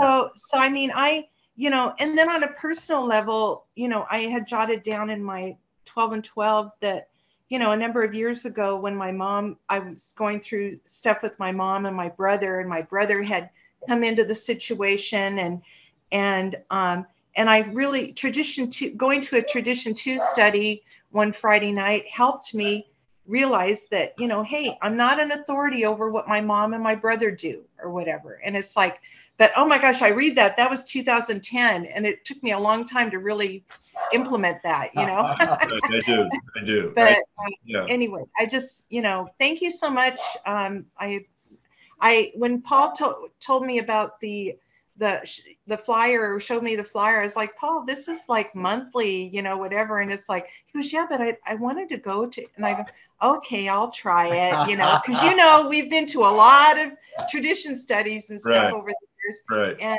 but but i love hearing um hearing the different insights and i appreciate it. Thank she, you. she reads fine print, Herb. Well, that, that you that's a yin and yang. That's a great combination. no, that's great. Thank you for being here. That's great. Thank Herb, one thing too, if I could quickly chime in on the uh, second tradition and taking it to the second step again, this just resonates to me right now. I've learned that the second step is sanity and insanity, healthy and unhealthy. And there's a discernment in there in the second step in my group if I'm going to behave in a healthy way as an elder statesman or in an unhealthy despotic way or in sort of a passive Right. resentful way. And so anytime something comes up, that's the opportunity for me. It's like I have a choice.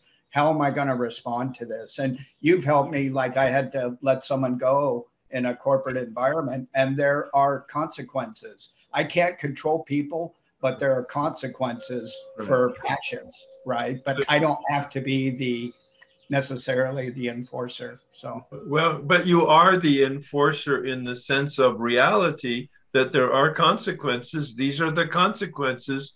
Goodbye. yeah, I'm the one who had to do it, but there Yeah. was principles with that, so I Oh, didn't exactly. Exactly. I wasn't conflicted.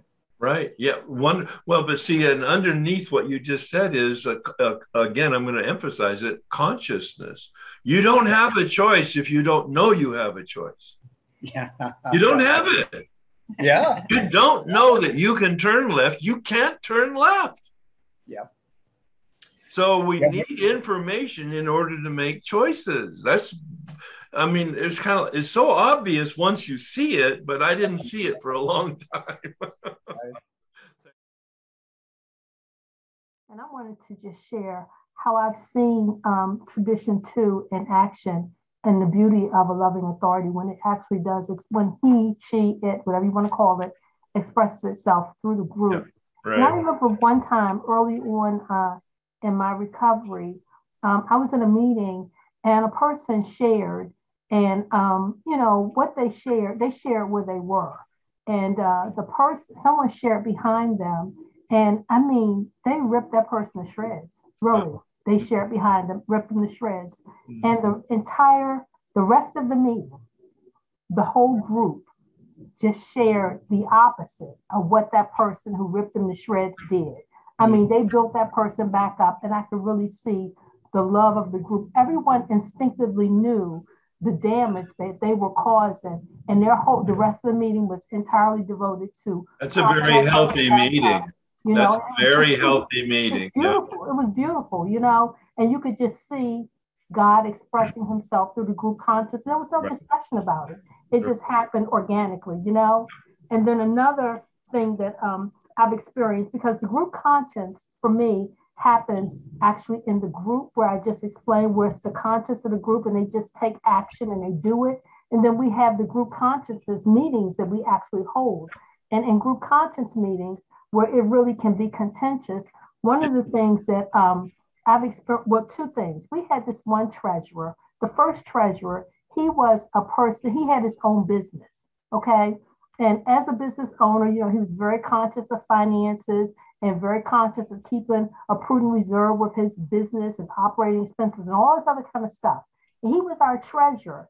And he was insistent upon us having more money in the treasury than what we needed of based course. on his experience as a businessman. Of you know, and it was like we the group, we didn't want to do that because we did not want to have money for no unstated purpose. Right. Okay. In our treasury, because to me that's just a a combination. You know, it just gives someone a reason to want to be the treasurer so they can do what they want to do with the money, you know? And the group talk, talk, talk.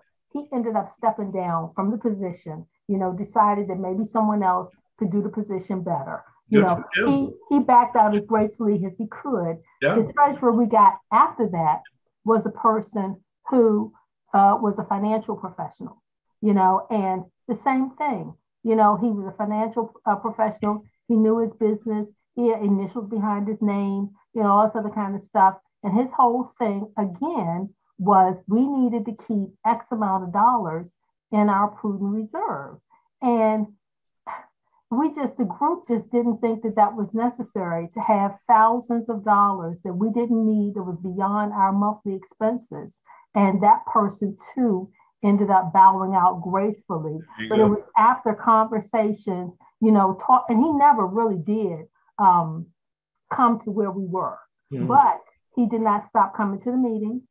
You know, occasionally at group conscience, he would bring it up. Well, you know, you all really didn't agree with my suggestion, but you know, I mean, he let it go gradually, but it was always still there. But yeah. at the same time, the group was able to move on. Well, it sounds like a very healthy group. It sounds like a very healthy group, mm-hmm. and quite frankly, very healthy people that are listening to the group reluctantly and reluctantly resigning and reluctantly accepting. But it sounds overall like a very healthy group. We try to be. We've been. Um, I'm in Washington. Well, the group is in Washington D.C. and it's been in existence since 1956. Yeah. You know, and um, it's been my home group for the entire time that I've been in um, recovery, and it is a step in traditions meeting. Yeah. But you know, the traditions, even though I went, I've been going to that meeting. You know, it's just been recently that I've really tried to embrace the traditions. Yeah. You know, because I was going to the step meetings and I would just, you know, hear the traditions. Right, right. I wasn't really absorbing them, like they, I could have been and practice. They become they become very interesting when you uh-huh. know more about them. Right. That right. and that's the, why I'm at the workshop. yeah, wonderful, wonderful. And one of the comments I want to make in light of your comments is that the group conscience is not a vote of the majority on a one-time deal.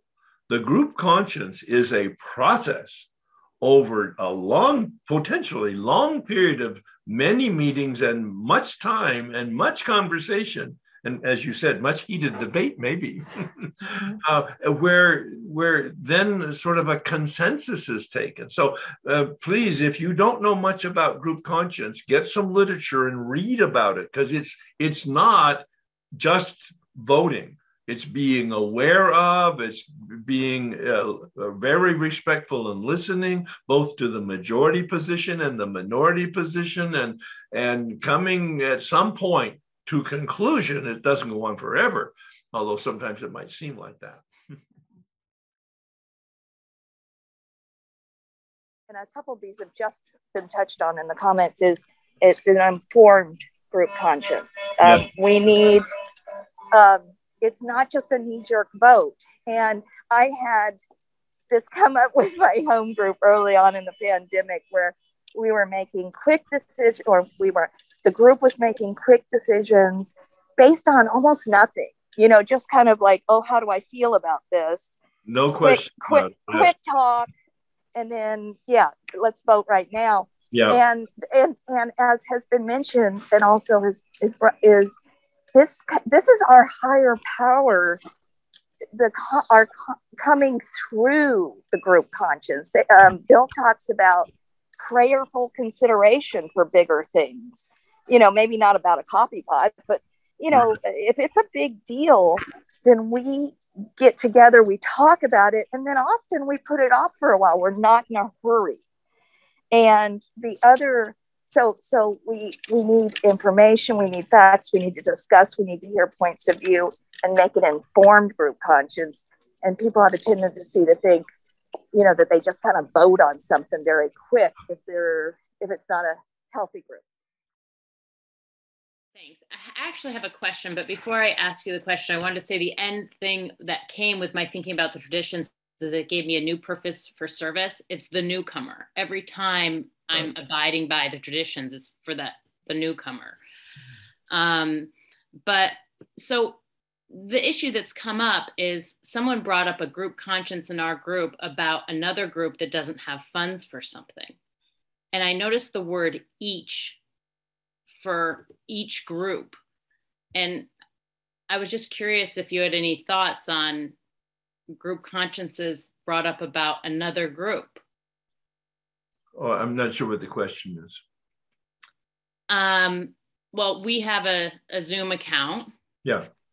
And the issue that happened is a number of groups that happen to meet at the same time and same same place, but are different groups. I see.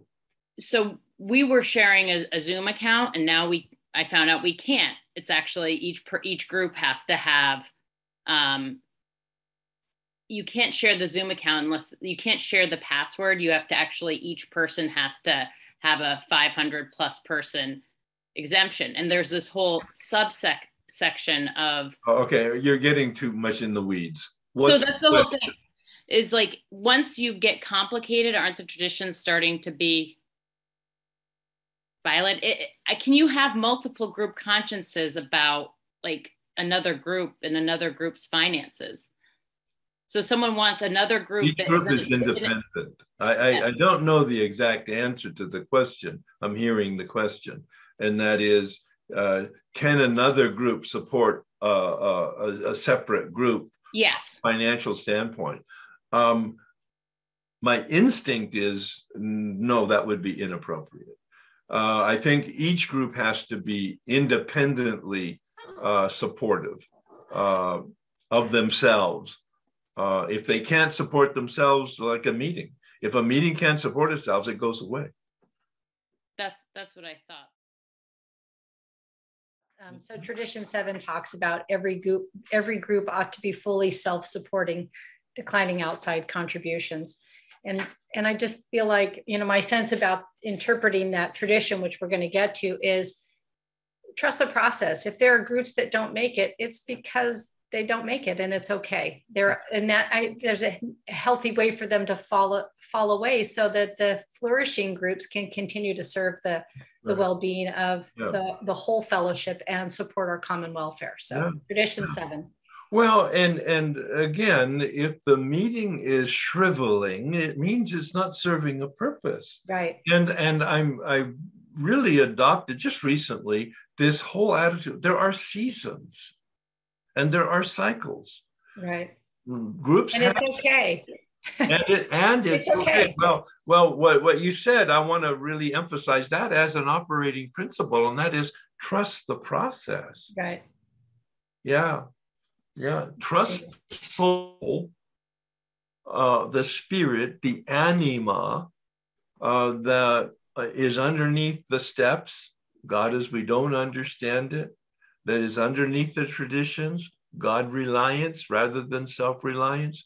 Trust that whatever the power is, and we'll neutralize the God and spiritual talk, whatever the power is, trust the power, trust the force. right. Yeah. We're going to move on now to the uh, third tradition, short form. The only requirement for AA membership is a desire to stop drinking. I don't have the traditions for other fellowships, so I don't know what those are. I'm sure they're they're different, but pretty much aligned. The only requirement for AA membership is a desire of the individual to stop drinking, and um, that that's a, that uh, again is a principle that was learned over several years. In the early days, they actually had membership requirements, and they I, I have a copy of a form that was part of the membership sort of registration. You had to fill it out and be approved by the group to come in. It was kind of funny. And, and you all know about, I believe, Rule 62, where they gathered all the rules of the various clubs and they put them all down and they had 61 and so they they got really uh, a nice sense of humor and they said and rule 62 is they didn't have a 62 but they made one is let's not take ourselves too seriously so um, any comments on uh, tradition tree um, the whole principle here is to be inclusive. And Bill says it in the big book never exclusive. There are no rules, there are no regulations, there are no membership requirements, there are no leaders, there are no experts. Totally inclusive, inclusive, inclusive, never exclusive. It's because we, we want to not have any barriers or obstacles to help people. That's why the whole con- conversation around God got modified as you understand it. And later on, even the alternate use of the term higher power, so that people were not, there was no barrier coming because people would perceive it as a religion and have any negative uh, resistance to it from uh, the point of view of some type of a religious tradition. Um, and the other thing is no, no, affiliation. No affiliation with any other group, including the room that you're meeting in. It's not the St. Aloysius AA meeting if you're meeting in St. Aloysius Church. All right? Because that implies affiliation. It, it, it sounds kind of subtle and silly, but people who would see that and not understand might be put off because of the implied association, even though it wasn't intended association. Again, uh, keeping in mind from step 10, love and tolerance is our code. Step 10, after you finish step nine, Bill says we enter the world of the spirit. This is what we're doing. We're entering to the soul the life force, the anima, that which animates us. Be careful of cliques. It's human nature. we form friendships and it's easy to walk into a meeting and join our friends and and yet there's people there for their first time maybe one or two people and they're awkward they're embarrassed they don't know what to do they don't know how it works you can spot them really if you look around the room and you're conscious and it might just be you extend your hand and say i'm herb welcome that's it. You don't have to proselytize, and you certainly don't have to become friends with them. But the, the, the huge word I have on my notes is welcome. The spirit of welcome. When I walk into a meeting, I want to have that as my lenses through which I look. All are welcome. And how can I express that? Sometimes, of course, it is meeting with your friends. That's just fine. There's questions concerning men's stag and women's stag and doctor meetings and lawyer meetings and pilot meetings and priest meetings. And those are all questions that can be handled. Um, I, I'm, I'm pretty supportive of specialty meetings, but not as a, a single source of your uh, meeting exposure um, I did some work for a recovery place for Catholic priests uh, where they got sober.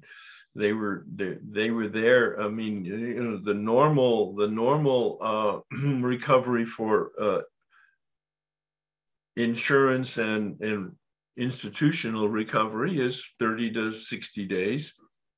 Uh, the normal requirement for doctors is 90 days. The normal requirement for attorneys is 90 days. The normal requirement for pilots is 120 days. For Catholic priests, the normal requirement is nine months. They're hard, hard, or ministers of any kind because they think they are spiritual and they have some, so it's really hard for them to acknowledge with the humility. Um, so it's really important that we adapt and adopt uh, different mm, ways for uh, people to find the message. And uh, and keep in mind singleness of purpose. That's that's really the key here. Um, i don't get into the controversy about the uh, add-ons. I'm an alcoholic and an addict. I'm an alcoholic and a codependent. I'm an alcoholic and I'm in Al-Anon. Uh, yes, I have opinions about that. I don't think it's necessary. Or even even this, I'm a grateful alcoholic. Well, okay, I understand that, but all I say is I'm Herb. I'm an alcoholic. I keep it really simple and I don't make myself special. We have the same thing with anonymity. We'll talk about that when we get to 11 and 12, where people add something on to get, I mean, they do it probably well intentioned. I'm a recovered alcoholic. I understand that. I really understand actually the connotation of the word, but why are you being different in a meeting? All right. Why are you being different? It's okay to be have your unique personalities, but again, once uh, that humility is one of many. I'm just another grain of sand on the beach. I'm important, but I'm not the center of the beach. So I've got lots of hands on this one. I love the history of uh, of AA. And just for anyone who's interested, there's some really good books. AA Comes of Age, uh, Dr. Bob and the Good Old Timers, and Pass It On. And all of those are a deep dive into the history. But Tradition 3 really touched me because back then there was actually a person that they were entertained that wanted to come to Alcoholics Anonymous. He was uh, black, he was a dope fiend, he was a transvestite, and worst of all, he was a jazz musician. Course, right? But uh, the question was, what do we do with this guy?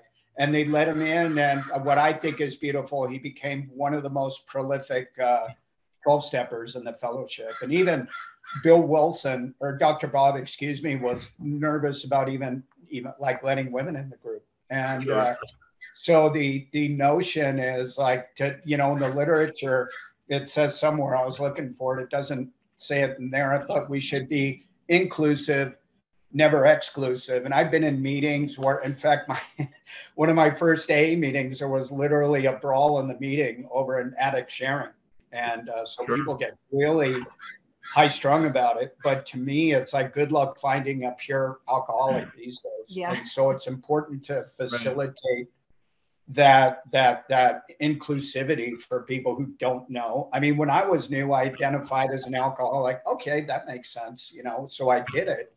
But today, it's like God. I've got it all right. It's like I identify as an alcoholic and probably a few other things. Well, and mm-hmm. so this, all of this helps me to to heal myself. So yeah. Well, and that's where the concept of singleness of purpose comes in. I yeah. my work is not for alcoholics yeah. exclusively. My right. work is for anybody who wants a spiritual awakening. So yes. it's broader than Alcoholics Anonymous. It's broader than including Al Anon. It's broader than including uh, drug addicts. It's anybody, whether you have an addiction or not. But I'm not connected to any fellowship. I'm just right. connected to the methodology of the 12 step process. Yeah, yeah. thank you. you know, I, Bill too. He envisioned that these that these principles would transform the world.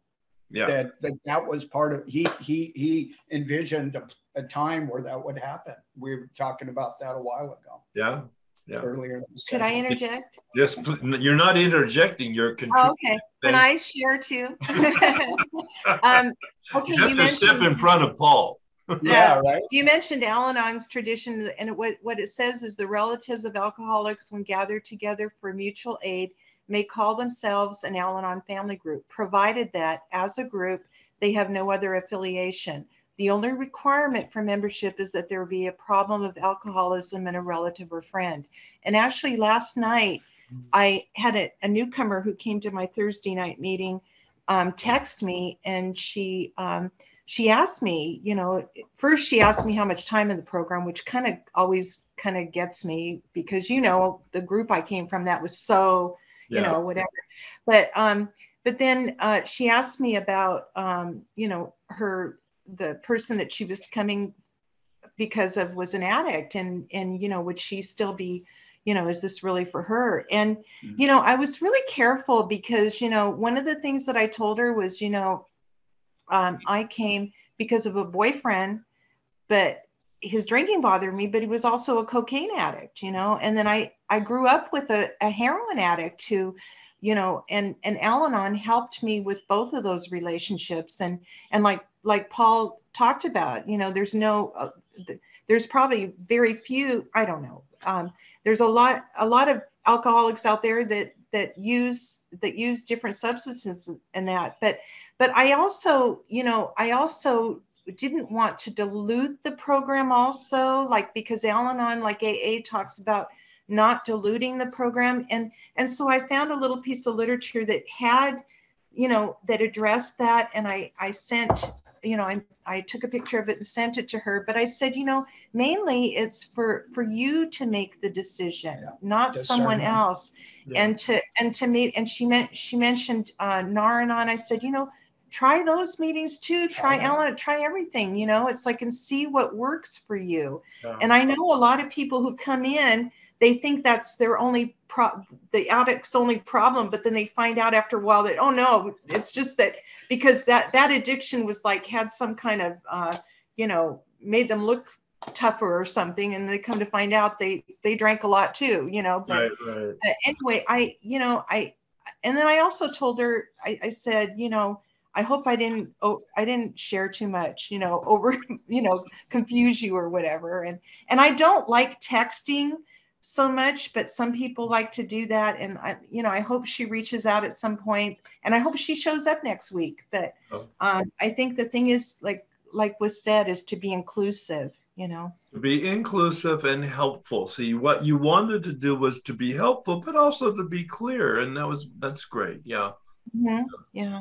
We had. Uh, uh, I spent 25 or 30 years in a MnSTAG step accountability uh, meeting, and uh, it was very powerful for me uh, in terms of working the steps. It was a MnSTAG, all right. And one night we had a woman come in there, and she was just shaking and just you could just see an absolute newcomer. And she didn't know. She just saw the AA meeting, and she just walked in. We we took an immediate group conscience, and we changed it that night so that she could stay and she could hear and she could she could share.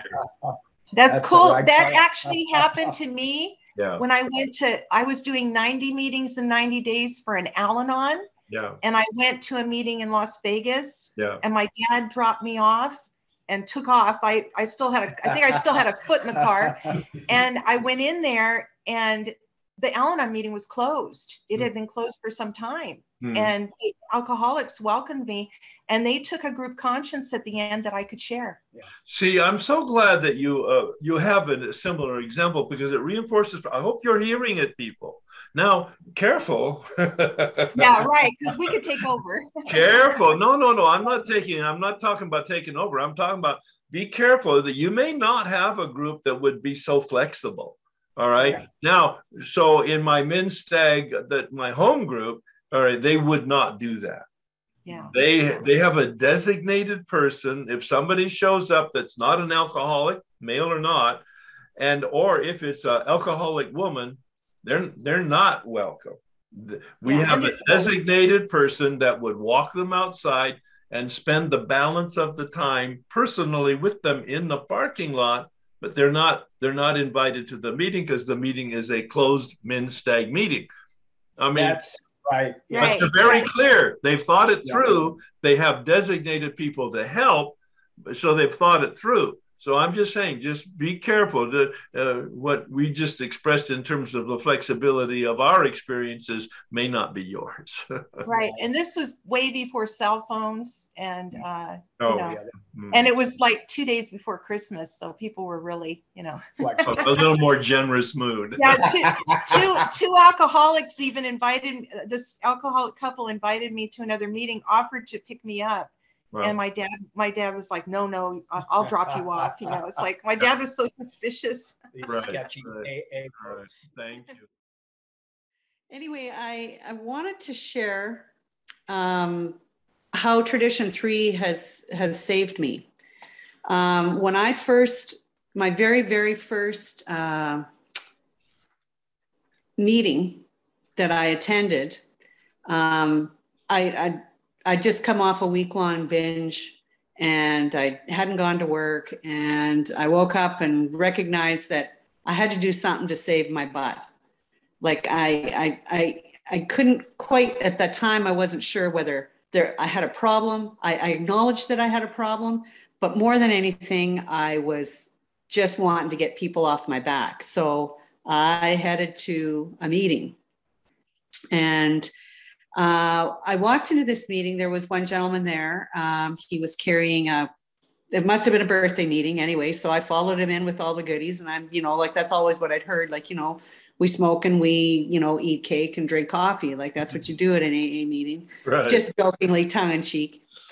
Um, anyway, uh, this gentleman started sharing his story with me. And I thought, you know, this is weird. Like you're just telling me a whole bunch of stuff that like too personal, dude um, right.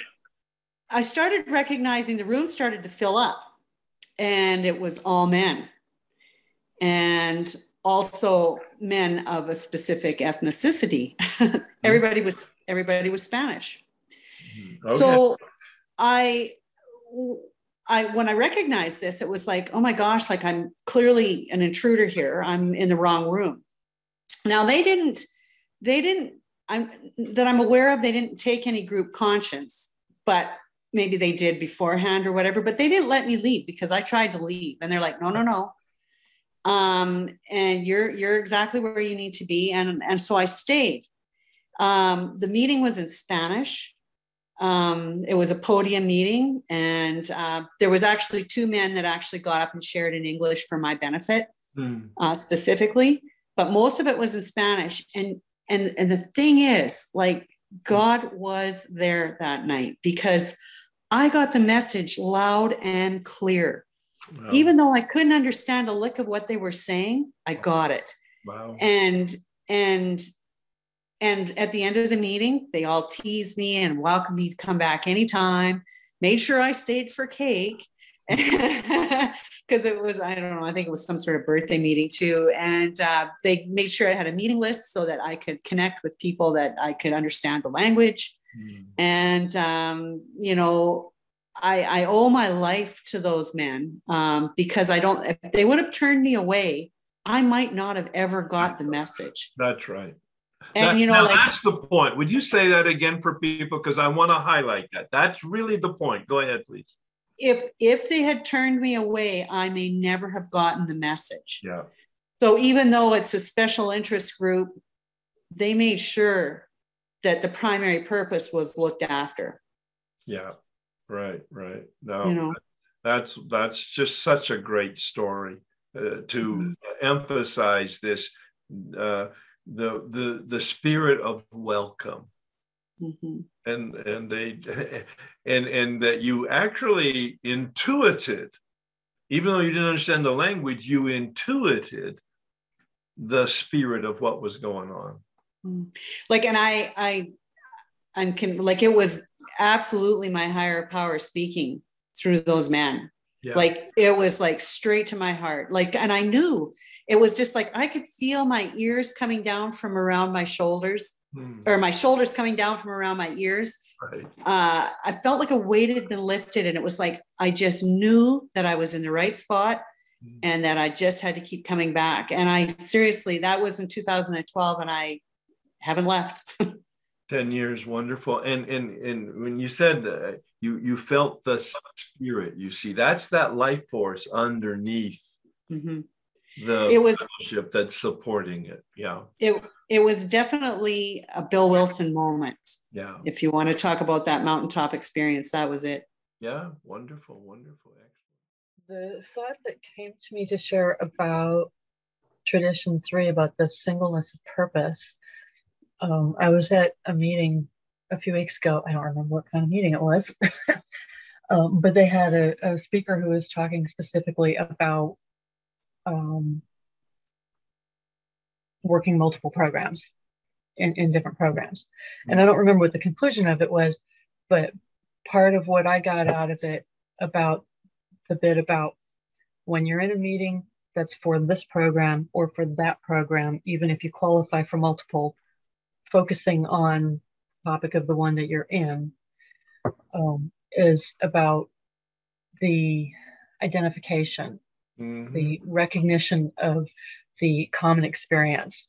Mm-hmm. Um, it's like, and what you're doing, we're it's this broader thing, right, for the spiritual awakening and that that um, the unmanageability that underlies all the different Correct. various issues that get you know that, the unmanageability that gets expressed in a variety of different ways depending on a person's particular physical makeup their particular whatever right um and so like in my experience as an al-anon i've learned that it's beneficial to attend open aa meetings okay. because it gives me some some perspective and understanding hearing from mm-hmm. aas themselves like that Mm-hmm. it opens the door for me to be able to have more understanding and compassion for, for, for those folks experience no great mm-hmm. um and then like the thing about identification by by being by fo- by the singleness of purpose of focusing um, i'm probably not the only person who's had the experience where sometimes i'm sitting in a meeting and somebody else that i've never met before is telling their story and it sounds like they're telling my story and yeah. so it's that identification, just like in, in, some of the opening stories in the big book, the purpose of those stories is for us to be able to recognize ourselves. And so we might recognize ourselves in this issue and we might recognize ourselves in that issue. Absolutely. Um, yeah. So there's, you know, there, there's some benefit in the, the visiting other groups, but I guess that's the point of the um, thing choosing the focus of the moment, I guess, and sticking sure. with that until you need to deal with the other one. Yeah, yeah. Yeah, I've heard it many times from the uh, people in a variety of fellowships, especially Al Anon, uh, that to go to the open AA meetings gives them a sense of compassion at the very least, where there's a, uh, an, an ability then to be a little bit more tolerant as we understand the addiction and the pain uh, of the individual, not just the pain that they cause to you. Yeah, thank you very much. Gosh, this is just opening up so much for me. This um, study of the traditions, it is um, setting aside a lot of what I uh, have experienced as well. Um, I thought I'd come to this because uh, to this workshop because I was asked to uh, speak on tradition three and share my experience on tradition three, and it was basically um, some negative experiences that I've had. I think of why I was asked, and I have experienced in regards to uh, tradition three, where I've been um, I wouldn't say excluded, but where I was kind of separated from the whole, like it's mainly for, and, and I've been told this quite a few times, it's mainly for those um, from the overweight part. And so I come from the opposite. In the eating and, disorder programs. Yeah. Yeah, got it, got it, got it. Yeah. Yeah. And and so I know people have been asked to um, go to another group because this is for a specific.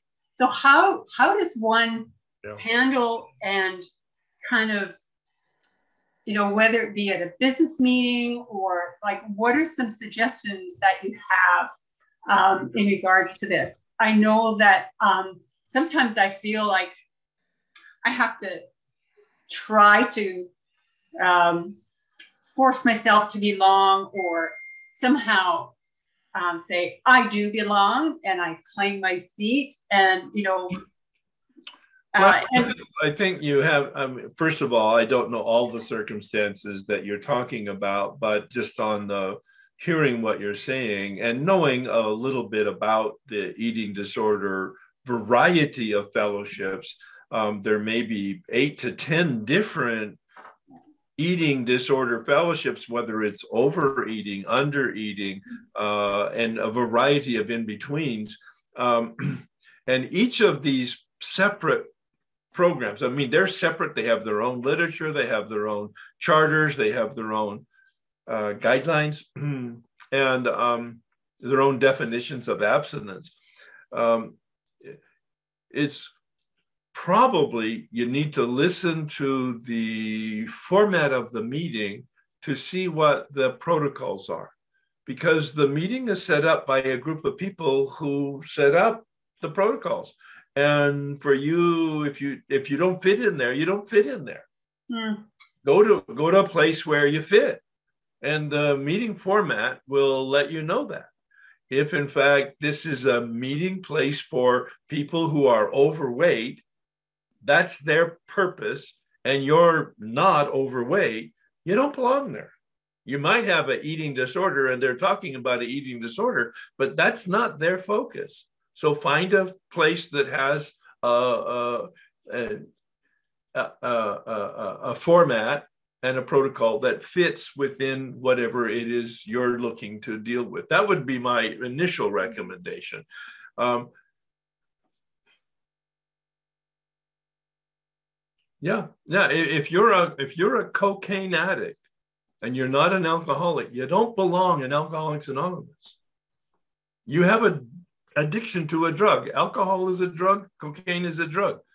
If you're a cocaine addict and you don't have an alcohol problem, you don't belong in an Alcoholics Anonymous meeting. That's the sense of primary purpose. All right. As Lisa was talking about in terms of that sense of identification. That's the real purpose there. Now, I've never yet met a drug addict that isn't an alcoholic. Mm-hmm. I mean, but they don't know that at the beginning. so uh, now I will temper what I just said, which was pretty black and white, by saying uh, especially today with the young people. I mean, they're duly addicted, usually uh, drugs and alcohol, and typically there's some mental illness involved. So it's like really gets a lot of mix. So I don't I don't ever want to be black and white. I always want to be helpful, but I was attempting to address your specific question. I think it's your specific question. Mm-hmm. I know it's definitely like our fellowship kind of encompasses all all like anorexia, bulimia, and overweight, obesity. When you say um, your fellowship, which one is that? Uh, the food addicts one. The FA. All right. Yeah. Mm-hmm. Yeah. And it it does um, encompass all those all those eating disorders. All right.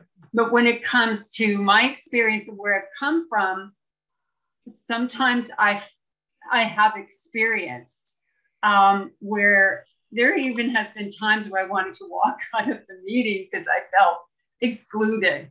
Um, but yet I know, like I said, I know. Is it, is it is it your perception problem or is it literally a problem of the group?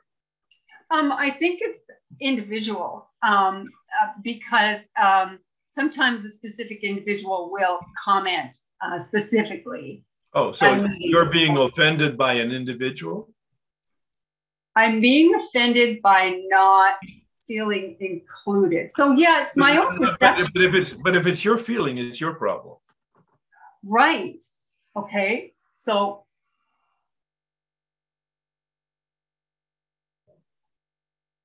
So when it comes, there has been as well, there's a PowerPoint that's out and the PowerPoint is not included. I don't understand what you're saying, PowerPoint. What are you talking um, about? It's not like it's for, um, I lose my words. Um, it's, it's to be, to present it to professionals, etc. a PowerPoint that, uh, let's say to medical people or, you know, there's a PowerPoint. All right. And so in that, um, in that PowerPoint, it hasn't included. It doesn't um, include what? I'm sorry. The, the person with anorexia. It didn't include um, those, you know, that population or whatever right. you want to did call you bring, it. Did you bring that point to the people that prepared the PowerPoint? Yeah, I have. I, I and did. What was their response? Um, well, we're basically, uh, we are basically for people who are overweight. Oh, well, there you go. That's yeah. And I think yeah. I think that's kind of why I was asked to speak at the Tradition 3, mm-hmm. um, like at, at the meeting. So I'm having some hope. Like there's little, I've been in recovery for 20 years in this fellowship. Right. And so there's that little flicker of hope. It's like, I do belong. well, can you bring that to the group conscience? You, the group conscience of this individual meaning or the group conscious when it comes to the WSI or who, what do you mean? created the PowerPoint? Yeah, I, I am going to address it at, at this uh, traditions meeting. I am going to address that. So yeah, yeah, yeah. yeah. Good so. luck. Good luck. Yeah.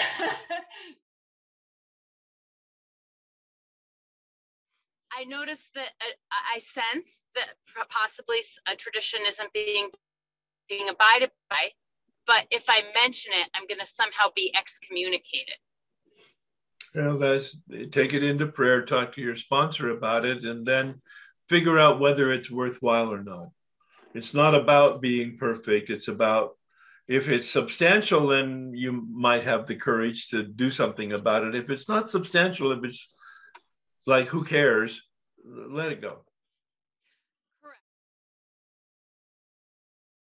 Um, yes, I wanted just to leave, but it's still, I've got sweaty palms. So I know that I have a, we've talked about it a, a little bit here, but mine is, um, I was, I'm in AA for 30, coming up on 35 years this month. And then I've been in Al Anon for, for uh, 12 years.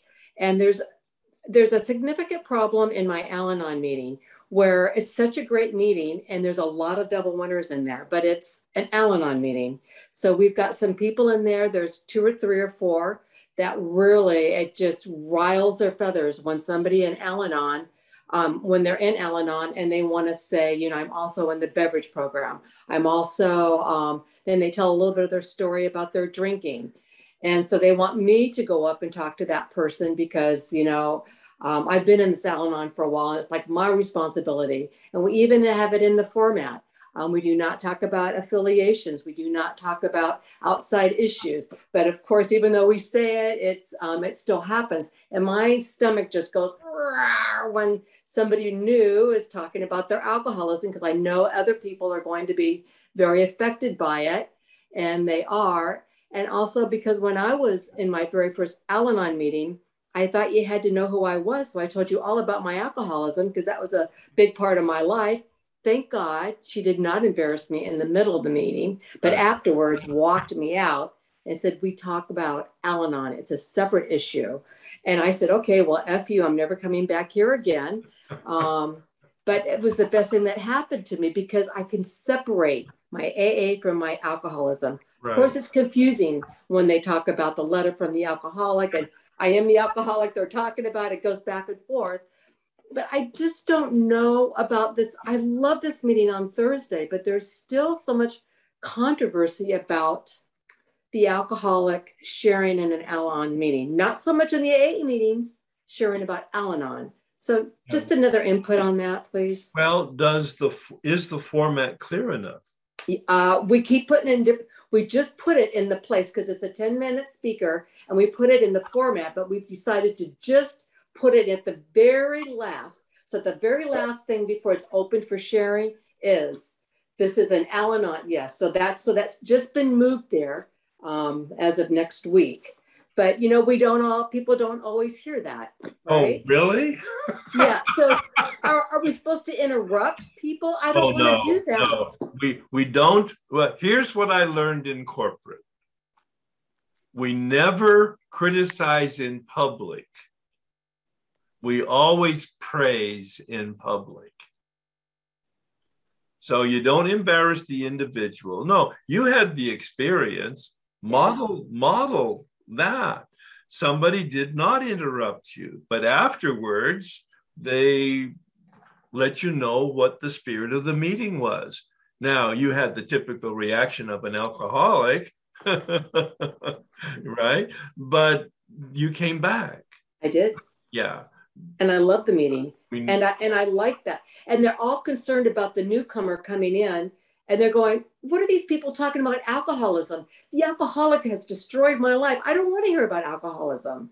Yeah. That's the reason I'm here. So that's these people keep coming back to that part. And there's a lot of double winners in this meeting, and they're relatively new and they keep speaking up. And I guess I just keep going and talking to them. But and sometimes they don't show back up. But I feel like I guess that's my responsibility. I can relate well, as the alcoholic. It is your responsibility if you want it, but it's not your responsibility because somebody asked you to do it. Yeah, thank you for that. All right, let's yeah. I'm be very clear that you know you could share the burden with other people in the room and they don't have to be alcoholic in uh, or a double winner in order to go up to the individual and share what the format and the spirit of the meeting is so okay. i wouldn't take it on as a as you're the you're the white knight of the group thank you all right okay thank you very much thank you in our one of our Al-Anon books on the 12 steps and 12 traditions, um, they have this lovely um, little section. It says the traditions are not rules. And I have been in meetings where people use them as hammers. So somebody else talked about that earlier, and I've certainly experienced that and made some of that mistake myself. Um, but then they talk about um, accepting the guidance of the traditions has been described as obedience to the unenforceable. And I love the gentleness of that and the spirit behind it because I have certainly, you know, been a part of lots of um, meet Al-Anon meetings where there are a lot of double winners, and thank goodness for that. And it does, you know, certainly there are lots of people with as cleverly as we have attempted to write and inform them and remind them. Uh, for some reason, they still you know, lots of them still talk about their other fellowships. Yeah, people don't listen. People don't listen, and and um, as was written about in the comments, you know, and there's a level of generosity and and grace that um, healthy meetings, I think, offer each other, and so there's been that. And then I've also seen it dealt with on a principle level. So kind of like somebody mentioned, you know, they were they were in a meeting and somebody was uh, just speaking disparagingly about another member, and then naturally and organically, other members naturally spoke about the about their their other experience. Right. And so I've had it, I've experienced it where um, people have spoken about it in the meeting without naming the other person, but just speaking very generally about the principle principle of singleness of purpose and, and how they appreciate that. Right. Where it's called out gently. And again, those and sharing your experience, not your opinion. That's right. And it's not finger pointing, it's not soapboxy and hard to do, hard to do. Hard to do well. And you know, those who hear it, hear it, and those who don't, don't anyway. Well, and it's about what your intention is and what's in your heart, because it will come out wonderfully if it's in your heart and in your intention, usually. Right. It, as long as it's not the, yeah, a, a, funky motive in there. There. And I think there's also, you know, somebody else spoke about it, you know, in the spirit of tradition one, um, we have a personal responsibility and a common, uh, you know, to protect the common welfare and the, and the thing that we're all moving towards. And that means that there are members who are inspired to, it doesn't have to be a self appointed one, but who are in, inspired to talk to people after the meetings. And, right. and sometimes they still show up and sometimes they don't. So we're I think you got to let go of the results of that too and trust. That's trust the point. Let go of the results. And um, if you have any doubt about your motives, you probably want to wait and have a conversation with your sponsor. Exactly. And and you know, and let let go of the results and trust the process. So words to live by. Words to live by. You guys have been great. What a what a wonderful time together. I look forward to next month. Uh, just remember, uh, next month we'll be looking at traditions four, five, and six. The assignments are on my website. If you don't have it, I'm sure Rainey is already to press the trigger to send them to you anyway. And uh, read the 12 and 12 at a minimum and the uh, traditions illustration. Those will be sufficient for a discussion like this based on that and your own experience. Um, please do the worksheets. And I don't mean just look at them. Do the writing on the worksheets. You, uh, uh, based on the direction from the assignments, you will find it transformative. It will give you a sense of connection, and then it will give you a sense of uh, uh even the questions so that you can hear the sharing at the workshop uh, in a much more effective way. I've uh, adapted the prayer of St. Francis to our time together here about principles for alignment. Spirit of the universe, make me a channel of your peace. That where there is hatred, I may bring love. That where there is wrong, I may bring the spirit of forgiveness. That where there is discord, I may bring harmony. That where there is error, I may bring truth. That where there is doubt, I may bring faith. That where there is despair, I may bring hope that where there are shadows, I may bring light, that where there is sadness, I may bring joy. Grant that I may seek rather to comfort than to be comforted, to understand than to be understood, to love than to be loved. For it is by self forgetting that one finds, it is by forgiving that one is forgiven, it is by dying that one awakens to life and adopts the spirit of welcome. I think that was one of the principal takeaways for me today. You all really responded to that and expanded on that. So, the spirit of welcome. I think if we have that in our life, our life's going to have a lot of quality to it. So, thank you so much, everybody.